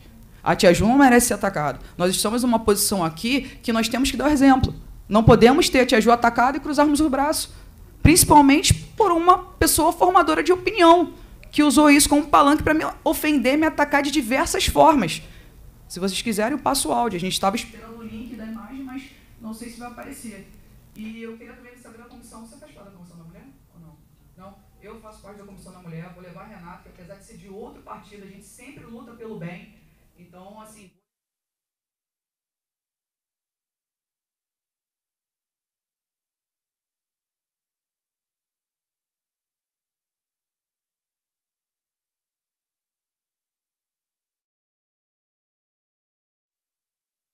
eu não concordo com uma opinião, eu não posso ter esse ataque. Eu não posso lutar contra dados. Foi o que vocês bem levantaram. Vamos amarrar mais esses dados para não ficarem soltos. A gente não pode lutar contra dados, mas eu posso lutar contra opinião. Agora, o que estou fazendo aqui se não posso fazer isso? Se eu vou ter uma mulher me atacando desse jeito, sabe? Então, assim, é, te ajuda, deputada Tia Ju, né, nossa vice, deputada Marta Alves, presidente, e a Dani, que sempre está presente aqui, mesmo na correria de entra e sai, entra e sai, entra e sai. Eu gostaria muito que essa CPI se posicionasse em relação a essa apresentadora para ver o que, que seria feito, porque eu não quero que nenhuma de vocês passe por isso que eu passei. Foi muito chato. Gostaria de agradecer ao Dr. Salvilei. Foi muita informação a gente pediu, né? É, principalmente sobre as denúncias falsas. A gente queria realmente amarrar mais para saber sobre. E eu queria saber do senhor o seguinte: a parte do áudio hoje, ele ainda é aceito ou ele já está manipulado como print? Como passa isso para o aceitamento, aceitamento não, né? Mas aceita, aceita, Aceitação. de provas. É, hoje já é mais também aceito ou ainda não? Ainda as pessoas falam pode ser manipulável? Porque o print o senhor falou que realmente já dá para manipular em qualquer lugar. Mas como fica o áudio ainda? Ainda é uma dúvida? Ou é bem aceito? Não é? Só queria saber a res- a respeito do áudio. Complementando, eh, na medida do que o senhor considerar oportuno, eu queria uma análise jurídica da postura dessa manifestação feita num programa, só para a gente depois encaminhar uma outra coisa. Deputada Dani. É, bom, é, tive que me ausentar rapidamente da CPI. Volto não por motivos felizes, pois a reunião da CDH ela foi suspensa por falta de quórum, mas isso minimamente me possibilitou voltar e participar dessa que eu acho que tem sido uns espaços. Peço até desculpa, porque um dos que teria que fazer coro, coro seria eu. Mas eu contei Vossa Excelência no quórum, mas ainda sabendo que iria ali na sala ao lado, era aqui na 1809, mas ainda assim não houveram outros deputados. Mas eh, Vossa Excelência estava contada. É, bom, eu acho que essa CPI ela vem fazendo um trabalho muito importante porque ela fala de causas atuais e conforme né, a sociedade vai avançando, algumas situações elas vêm ao centro e outras saem do centro para a periferia das situações. Então, carreiras, inclusive, são criadas, são destituídas. Hoje a gente treina a nossa juventude para ser gamer, ser programador. É, em outro momento, talvez a nossa juventude fosse treinada para consertar sapatos. E hoje se conserta menos sapatos, se compra novos, mas se criam novos jogos. Então, acho que é um momento também que a gente precisa debater. E aí eu, eu, eu falo isso, inclusive, embebida da nossa última sessão, que é debater o que significa honra. Num cenário, e reitero o que falei semana passada, que nós mulheres não temos honra, pois honra é algo, é um código que se conforma no espaço público. Embora nós, mulheres racializadas, já ocupemos o espaço público há séculos, não tivemos o direito de no, no, nos, nos colocarmos em âmbito privado, no que tange a mulheres, no geral, isso é recente. Então, é, é, eu falo isso até porque o nosso. Agradeço, inclusive, a participação do doutor Sawei. É Sawei? É Sawei. É, isso, é, é. Inclusive, o doutor Sawei traz né, o artigo 141 do CPP, é, no parágrafo 2, essa inclusão do que seria crimes contra a honra. E aí está o nosso principal desafio.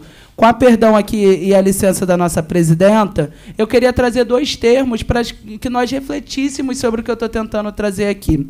Quando a gente fala de mulheres piranhas, e me desculpe o uso do termo, mas é necessário para a gente é, conseguir conceituar aqui, na, necessariamente na nossa mente, qual é o paralelo que se faz? Uma mulher piranha é uma mulher devassa, é uma mulher sem valores moral e sem fidelidade garantida. E o que significa ser sem fidelidade garantida quando você é piranha? Igual a traíra. Agora, quando falamos do moleque piranha, que é um conceito que a nossa juventude usa muito, você fala de um homem desenrolado, um homem malandro, que talvez tenha características positivas como dançar bem. É, e também está atrelado, o moleque piranha, ao sem fidelidade garantida. Mas o que significa isso? Talvez quem estava ao lado dele não foi suficiente para segurar esse fenômeno, esse cometa, esse meteoro que é esse homem sociável e desenrolado. É disso que eu estou falando. A carga de honra está colocada aqui. E eu, é, concordando muito com a deputada Índia, a gente pode e deve, nos, enquanto mulheres, nos fortalecer e ressignificar termos. As mulheres vêm fazendo isso. Hoje em dia, uma mulher chega para outra amiga, oi, piranha, e aí? Amiga? Tentando ressignificar o termo. A gente precisa colocar, mas ainda é muito distante. O imaginário da sociedade sobre o que significa uma mulher piranha, um homem piranha, é totalmente diferente. E aí é que entra o nosso desafio de debater a honra, porque eu acho que essa é a contribuição que nós podemos dar melhor. É, o, os membros do MP que vieram aqui, as nossas delegadas também que vieram aqui, elas representam é, cargos de natureza técnica, que avançam na produção dos dados, avançam é, em possíveis políticas a serem construídas, mas somos nós, nós e o governador, que tem um cargo de natureza técnica e política. Somos nós que podemos reconduzir debates como a honra, que está no campo subjetivo. Podemos melhorar o CPP, trazer novas tipificações, trazer novas penalizações, mas quando a gente fala do que falou a nossa é, outra convidada, a doutora Carla, sobre o tripé da Lei Maria da Penha, especialmente o que tange a prevenção, é esses cargos, esses 70 deputados mais um governador, que pode produzir a natureza, o, o que é necessário de política sobre isso. Então, acho que é, é falar das mulheres ocupando o espaço público, falar da nossa honra, é pensar que é um desafio enorme, porque da, as nossas Marias sempre foram sem honras, né?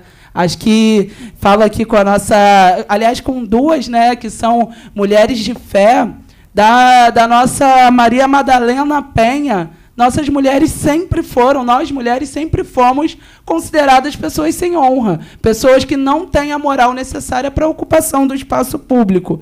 E aí, deputada presidenta, eu reitero a necessidade da gente construir um programa, construir processos inter, é, é, interinstitucionais porque somos nós que temos força e competência para puxar esses espaços.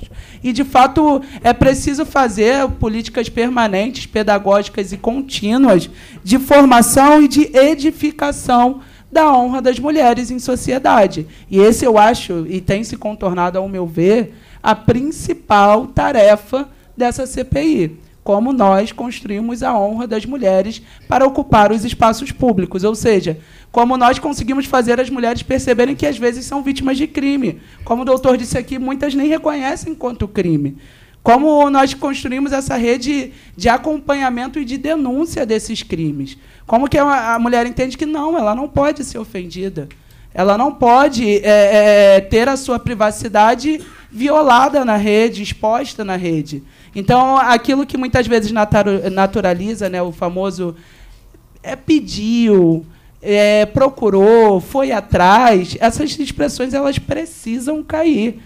É, de resto, né, para além do, te, da temática aqui da CPI, é, a partir da provocação da nossa deputada aqui, eu me comprometo a ouvir a gravação, que eu acho que é o que é mais adequado, porque uma preocupação que eu tenho, eu sempre externei aqui na casa, é que nós precisamos ser incisivos no combate a toda e qualquer violência contra a mulher. Mas não, hoje não podemos perder, e sei que falo com uma delegada que entende bem, o procedimento das coisas. Nós não podemos perder a capacidade de, a, a, a, é, de, de absorver e atrelar o que seriam as provas necessárias. Então, de maneira nenhuma, deputada, é, divergindo, duvidando é, do, do, que ocorreu com Vossa Excelência, que, inclusive, enquanto mulher, sei bem o quanto que opiniões públicas, e já fui alvo, opiniões públicas é, é, é, depreciativas ou divergentes dos nossos trabalhos alcançam, sim, o nível da nossa possibilidade de estar aqui. É, muitas vezes as violências que nós sofremos nos fazem questionar se podemos estar aqui. Então, quanto a isso, com certeza me solidarizo, entendo bem o que Vossa Excelência passa e não é de maneira nenhuma duvidar de que Vossa Excelência fala aqui, mas eu tenho medo que o combate à violência contra a mulher se torne é, é seja ferramenta para um Estado mais punitivo. E aí eu sou contra o Estado punitivo. Então, vou é, é, ouvir e hoje mesmo em plenário conversa com Vossa Excelência, mas de antemão, independente da escuta, a solidariedade ela é necessária porque o, é, é, o objetivo certamente foi alcançado, que é o sofrimento psíquico da vítima, Sim. o atenuante da, da nossa saúde mental. Então, quanto a isso, solidariedade e sigamos juntas aqui nessa CPI para produzir políticas robustas de combate à violência contra a mulher. Doutor Salway. É. É, eu fiz algumas anotações e gostaria de responder as dúvidas é, num bloco. Coisas de considerações rápidas, de menos de cinco minutos. É, concordo com as duas deputadas na questão legislativa. O que nós precisamos, na verdade, é um Código Penal e Processual Informático brasileiro. É, alterar a legislação pontual cria essa discrepância. Existe uma causa de aumento de pena para crimes virtuais contra a honra, no 141, parágrafo 2, mas não existe para crime de stalking e de é, violência psicológica. Né? Isso já foi levado ao Congresso por mim como estudioso, mas parece que não teve uma boa aceitação.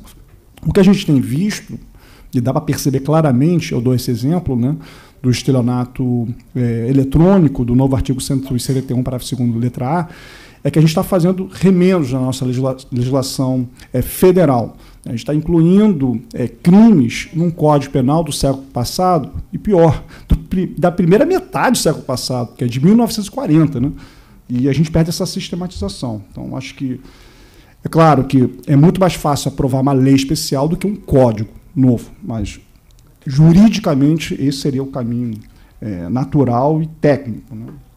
Em relação ao espelhamento estadual, Achei muito salutar a sugestão e nós temos sim como fazer alguns tipos de espelhamento do 4939, que é o projeto de lei de 2020, para a esfera estadual, especialmente a cadeia de custódia. Né? Sugeria ao governo, ao invés de policial, ó, policial ele pode pagar, eu posso pagar? Ah, eu também pago o Verifact, mas isso deveria ser ah, institucional e não pessoal. Né? Perfeito. Isso deveria ser institucional, não pessoal, como faz, como eu disse, Bahia, é, Minas Gerais e agora São Paulo. Né? Então, assim, é um espelhamento, é uma sugestão que a CPI tem esse instrumento, essa força, essa legitimidade é, de provocar o Poder Executivo, e não só o Poder Executivo, o Judiciário, o Ministério Público. Inclusive, já foi levado para o âmbito interno do Ministério Público. Né? Espero o senhor, que... desculpa, doutor, o senhor sabe Ah. me dizer se existe alguma lei estadual em outro estado que tenha tratado desse Não tema? existe. Eu Tá. desconheço. Se existir, Então- eu desconheço. Tá. Eu desconheço. E a cadeia de custódia, assim, enfim, a regulamentação de uma cadeia de custódia específica, na verdade, já tem a cadeia de custódia do Código de Processo Penal, 158A, né? A gente poderia detalhar mais para as provas digitais. Então, não vejo também nenhuma invasão de esfera de Podemos lá na competência. frente sentar e conversar. Com certeza.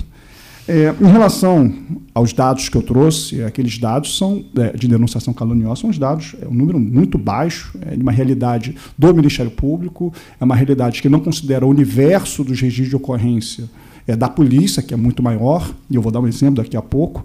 É, e, obviamente, existe o fenômeno da subnotificação. Né? 54% das mulheres sequer procuram polícia porque acham que não são vítimas de crimes. Né? E aquelas que se consideram vítimas de crime não vão à delegacia por vergonha, enfim, e outras considerações. É, os dados que eu dei são dados de seis anos, e os dados estão aí publicamente, são dados de seis anos com 205 denúncias, né? 205 denúncias de denunciação caluniosa. São seis anos, 205 de, cinco denúncias, isso dá 30 e poucas denúncias por ano. É, na minha promotoria, única e simples promotoria, que é a segunda promotoria da Ilha Venador, só da Ilha Venador, eu ofereço 30 denúncias contra homens por violência doméstica, por mês.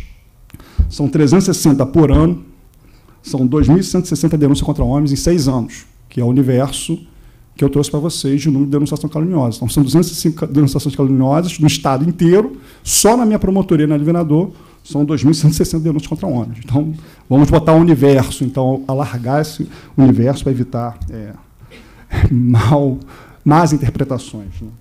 Em relação à Cadepol, nós sabemos, né, inclusive eu sou casado com um policial civil trabalhava na Cadepol é, e agora está na chefia do gabinete do, da Polícia Civil, do secretário Fernando, junto com a doutora Renata Assis. É, eu sou o primeiro promotor de justiça, inclusive, a dar palestra no curso de formação CFP na Cadepol há três anos. Já fui convidado para dar é, palestras é, nesse, nesse CFP da Cadepol.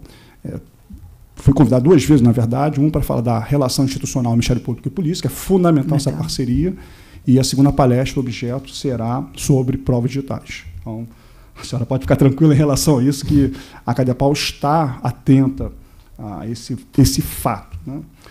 Quanto à reeducação digital, é primordial, né? a gente tem que fazer essa campanha em, em todos os âmbitos, né? nas universidades, nas escolas, nos, nas empresas, em órgãos públicos também. E, e agora eu volto um pouco em relação à fala da doutora Carla Araújo, né? a notificação obrigatória nas escolas. É, ali é, é- é importantíssimo. Né? Agora, nós temos que ter essa preocupação que a doutora Carla disse, né? é não quebrar a confiança do aluno com o seu professor e a questão da privacidade também, né? a questão da privacidade.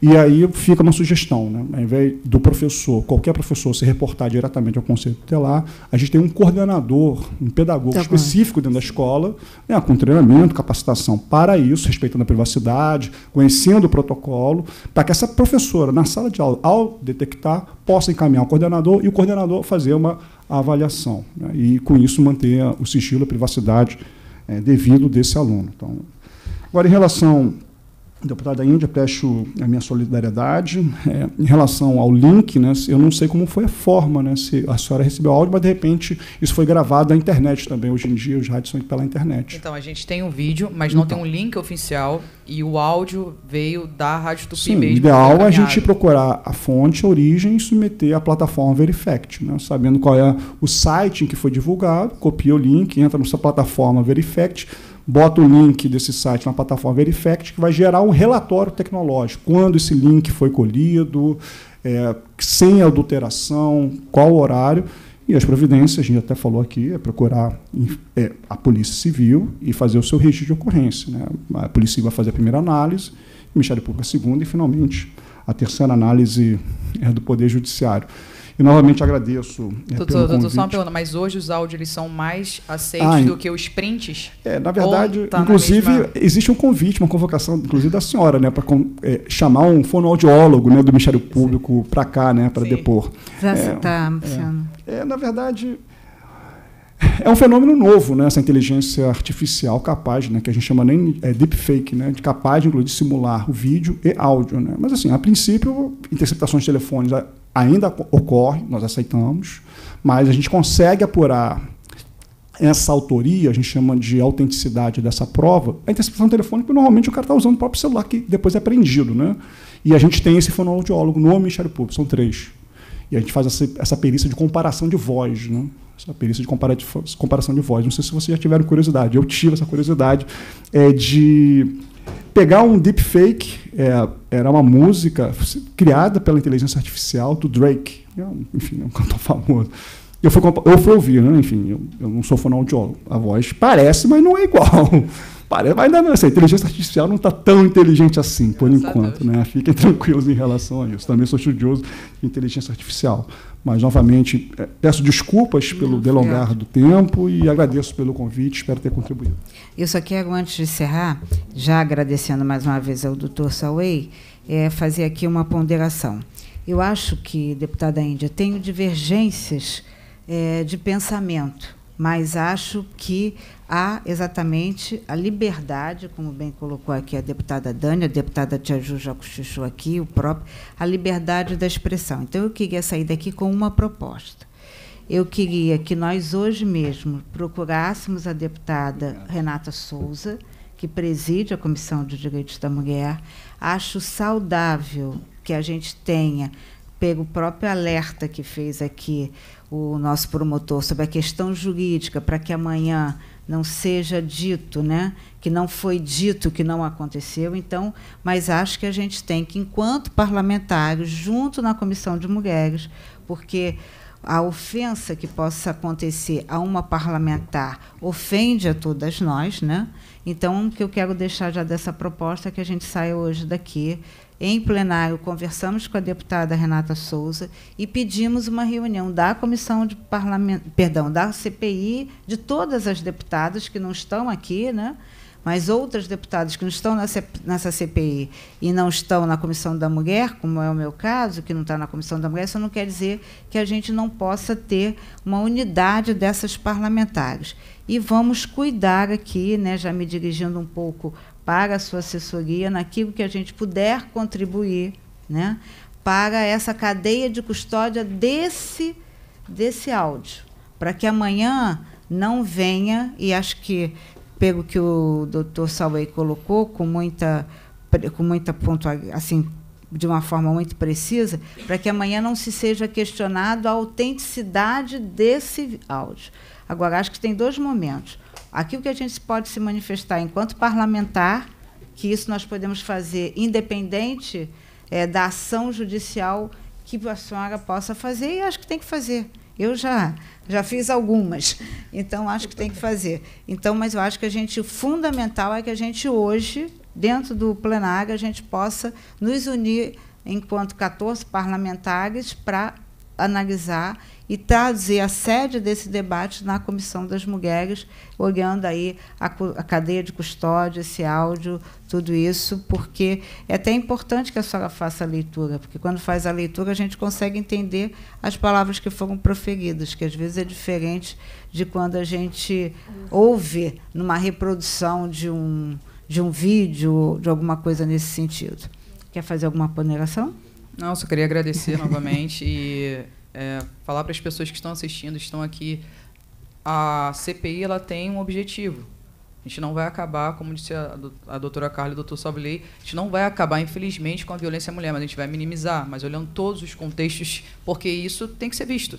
Ponto. É uma realidade que está acontecendo, e foi o que eu disse. As mulheres não chegam no finalmente. A agressão vem dos homens, ponto. Mas a cibernética vem muito das mulheres e a gente tem que parar de se atacar se a gente quer se proteger. E Agora eu trouxe mais uma prova, dessa vez bem grande, assim, para a gente se alertar, falar, mulherada, vamos se unir.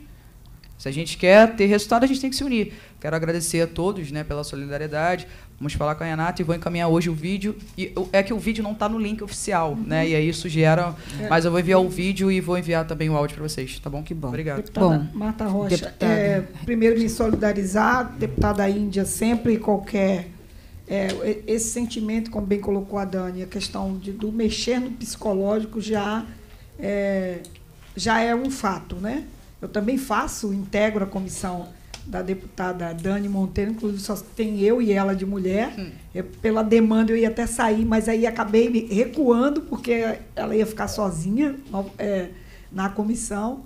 integra a Comissão de Direitos, das, da, é, Direitos Direitos Humanos. Integra a Comissão de Mulheres também, como membro efetivo. Também eu acho que tem que ser feito esse encaminhamento. E aí ressalto aqui, no âmbito dessa CPI, mas que não, não contextualiza a necessidade, mas a gente pontua, é, da instalação, da, da votação da procuradora da mulher e a procuradora adjunta, que é mais um mecanismo, porque a procuradoria, a comissão da mulher não integra toda a bancada feminina. E já a procuradoria vai abrir esse leque de integração de todas as parlamentares que fazem parte desse, dessa legislatura, e é mais um mecanismo que a gente vai ter ali da casa de fortalecimento, que não sobrepõe as ações da comissão de mulher, né? Volto a dizer, esse perfil de poder integrar toda a bancada e a interlocução ser profunda com a Câmara, que também tem a Procuradoria da Mulher, isso dá, dá para essa casa um mecanismo a mais. Né? E a gente está sentindo falta disso, a gente precisa ter essa Procuradoria. Semana eu fui procurada para saber se a gente já tinha feito essa eleição, tenho cobrado e vou cobrar hoje reiteradamente a publicação do edital para a gente colocar os nomes e votar essa procuradoria, a quem será a procuradora da mulher e quem será a procuradora adjunta, para a gente ter mais esse mecanismo na casa, todo o mecanismo que a gente tiver de combate, enfrentamento às violências, que eu faço questão de colocar no plural, contra as mulheres é de suma importância. Minha solidariedade e é, comungar com, com o que colocou a presidente aqui, desse encaminhamento feito aqui na CPI, até mesmo porque é, é, um, é um, um âmbito que deve ser levado e discutido amplamente na comissão de Sim. mulheres, que é a esfera aqui, no momento instituída nessa casa.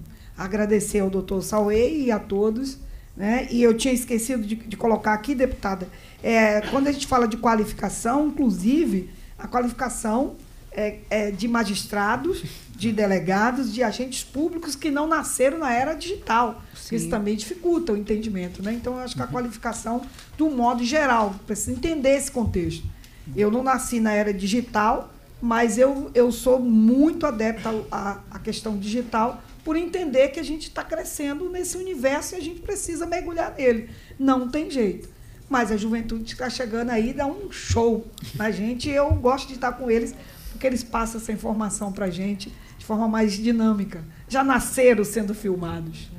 Bom, boa tarde a todas e todos, agradecendo mais uma vez ao Dr. Sauei, doutora Carla e a todos que nos acompanham pela TV Alerj, dou por encerrada essa audiência pública. Obrigada.